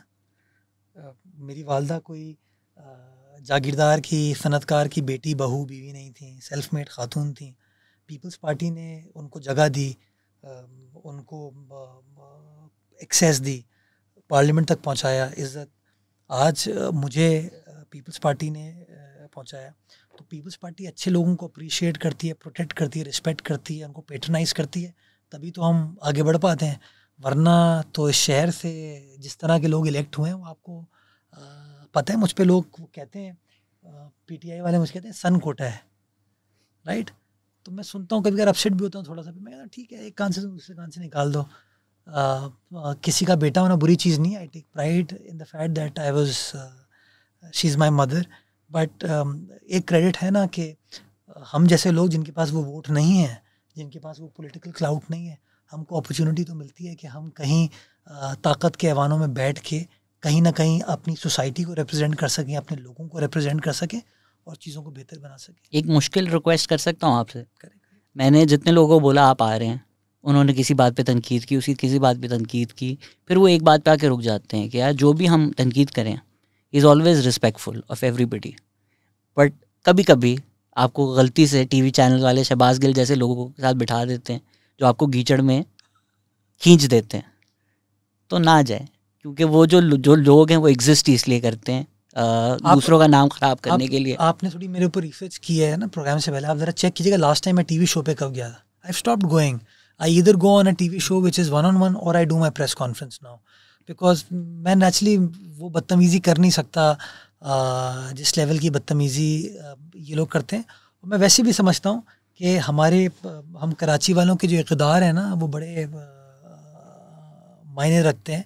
हम लोग तो हमारी, मैं तो बार बार कहता हूँ कि हमारी शनाख्त कलम था, इल्म था, शख्सियत थी, किरदार था, वो हमने पता नहीं क्या गुटके और इन चक्रों में कहीं छुपा दिया है। Let's try to find that grace again ये हम लोग गुटके खाने वाले नाराज़ हो जाएँगे। गुटके मावे भी हमारे हमारे कल्चर है अब। मैं मैं मैं उनकी सेहत के लिए परेशान होता हूँ। मैं डॉक्टर से बात करता हूँ मुझे बताते हैं जो उसके साइड इफ़ेक्ट्स हैं ना। तो जिस तरह ड्रग्स एक प्रॉब्लम हमारे लिए उसी तरह ये गुटका मेनपुरी मावा भी हो गया। इस शहर के हालात हैं एक वाइस सबको अलाउड है। क्योंकि उसके बगैर ज़िंदा नहीं रह सकते हमें तो कोई वाइस नहीं मिलती। अब मैं आपको लेके चलता हूँ कराची में।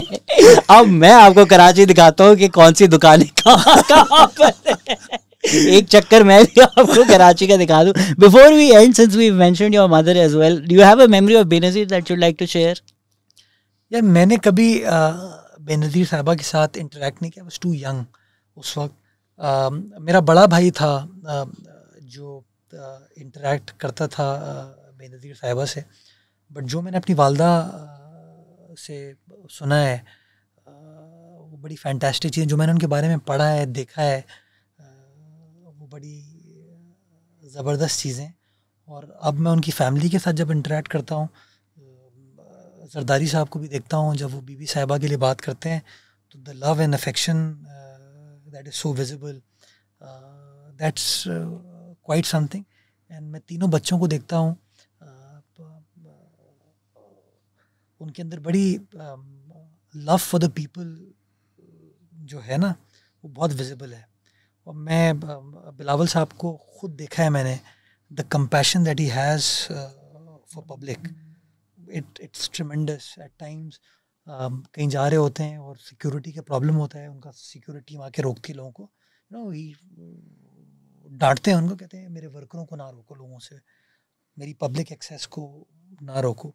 And you know that says a lot why, because he's someone who has suffered because of security reasons. He lost his mother because of ये ट्रैजिक इंसिडेंट तो उसके बावजूद मैं वो जो बॉन्ड देखता हूँ ना पब्लिक ओरिएंटेड इश्यूज़ पे, वो बड़ा ज़बरदस्त है। सिमिलरली ये जो एंटी इंक्रोचमेंट ड्राइव में लोगों के साथ ज़्यादती हुई, उसमें बिलावल साहब बड़े क्लियर थे। वही वही उस टेल के हम खड़े हो जाएँ कोर्ट की कंटेम्प्ट होती है कंटेम्प्ट हो जाए but we should make sure कि किसी से उसका घर ना छीना जाए। Thank you so much sir आपने वक्त दिया। Hopefully if other people from your party are listening they're more than welcome as well कोई पैसे नहीं लूँगा मैं। एंड प्लीज़ और भी uh, जो पॉडकास्टर्स हैं रीच आउट करें। नहीं लेंगे पैसे। आई uh, थिंक uh, अगर अच्छा काम हो रहा है तो दिखाना चाहिए। आप प्लीज़ मुझे बुलाएँ। मैं हाजिर हूँ मैं बिल्कुल आऊँगा। और मैं भी पैसे नहीं लूँगा। बस खाना खिलाएँगे पॉडकास्ट के बाद। Thank you so much sir and thank you listening take care bye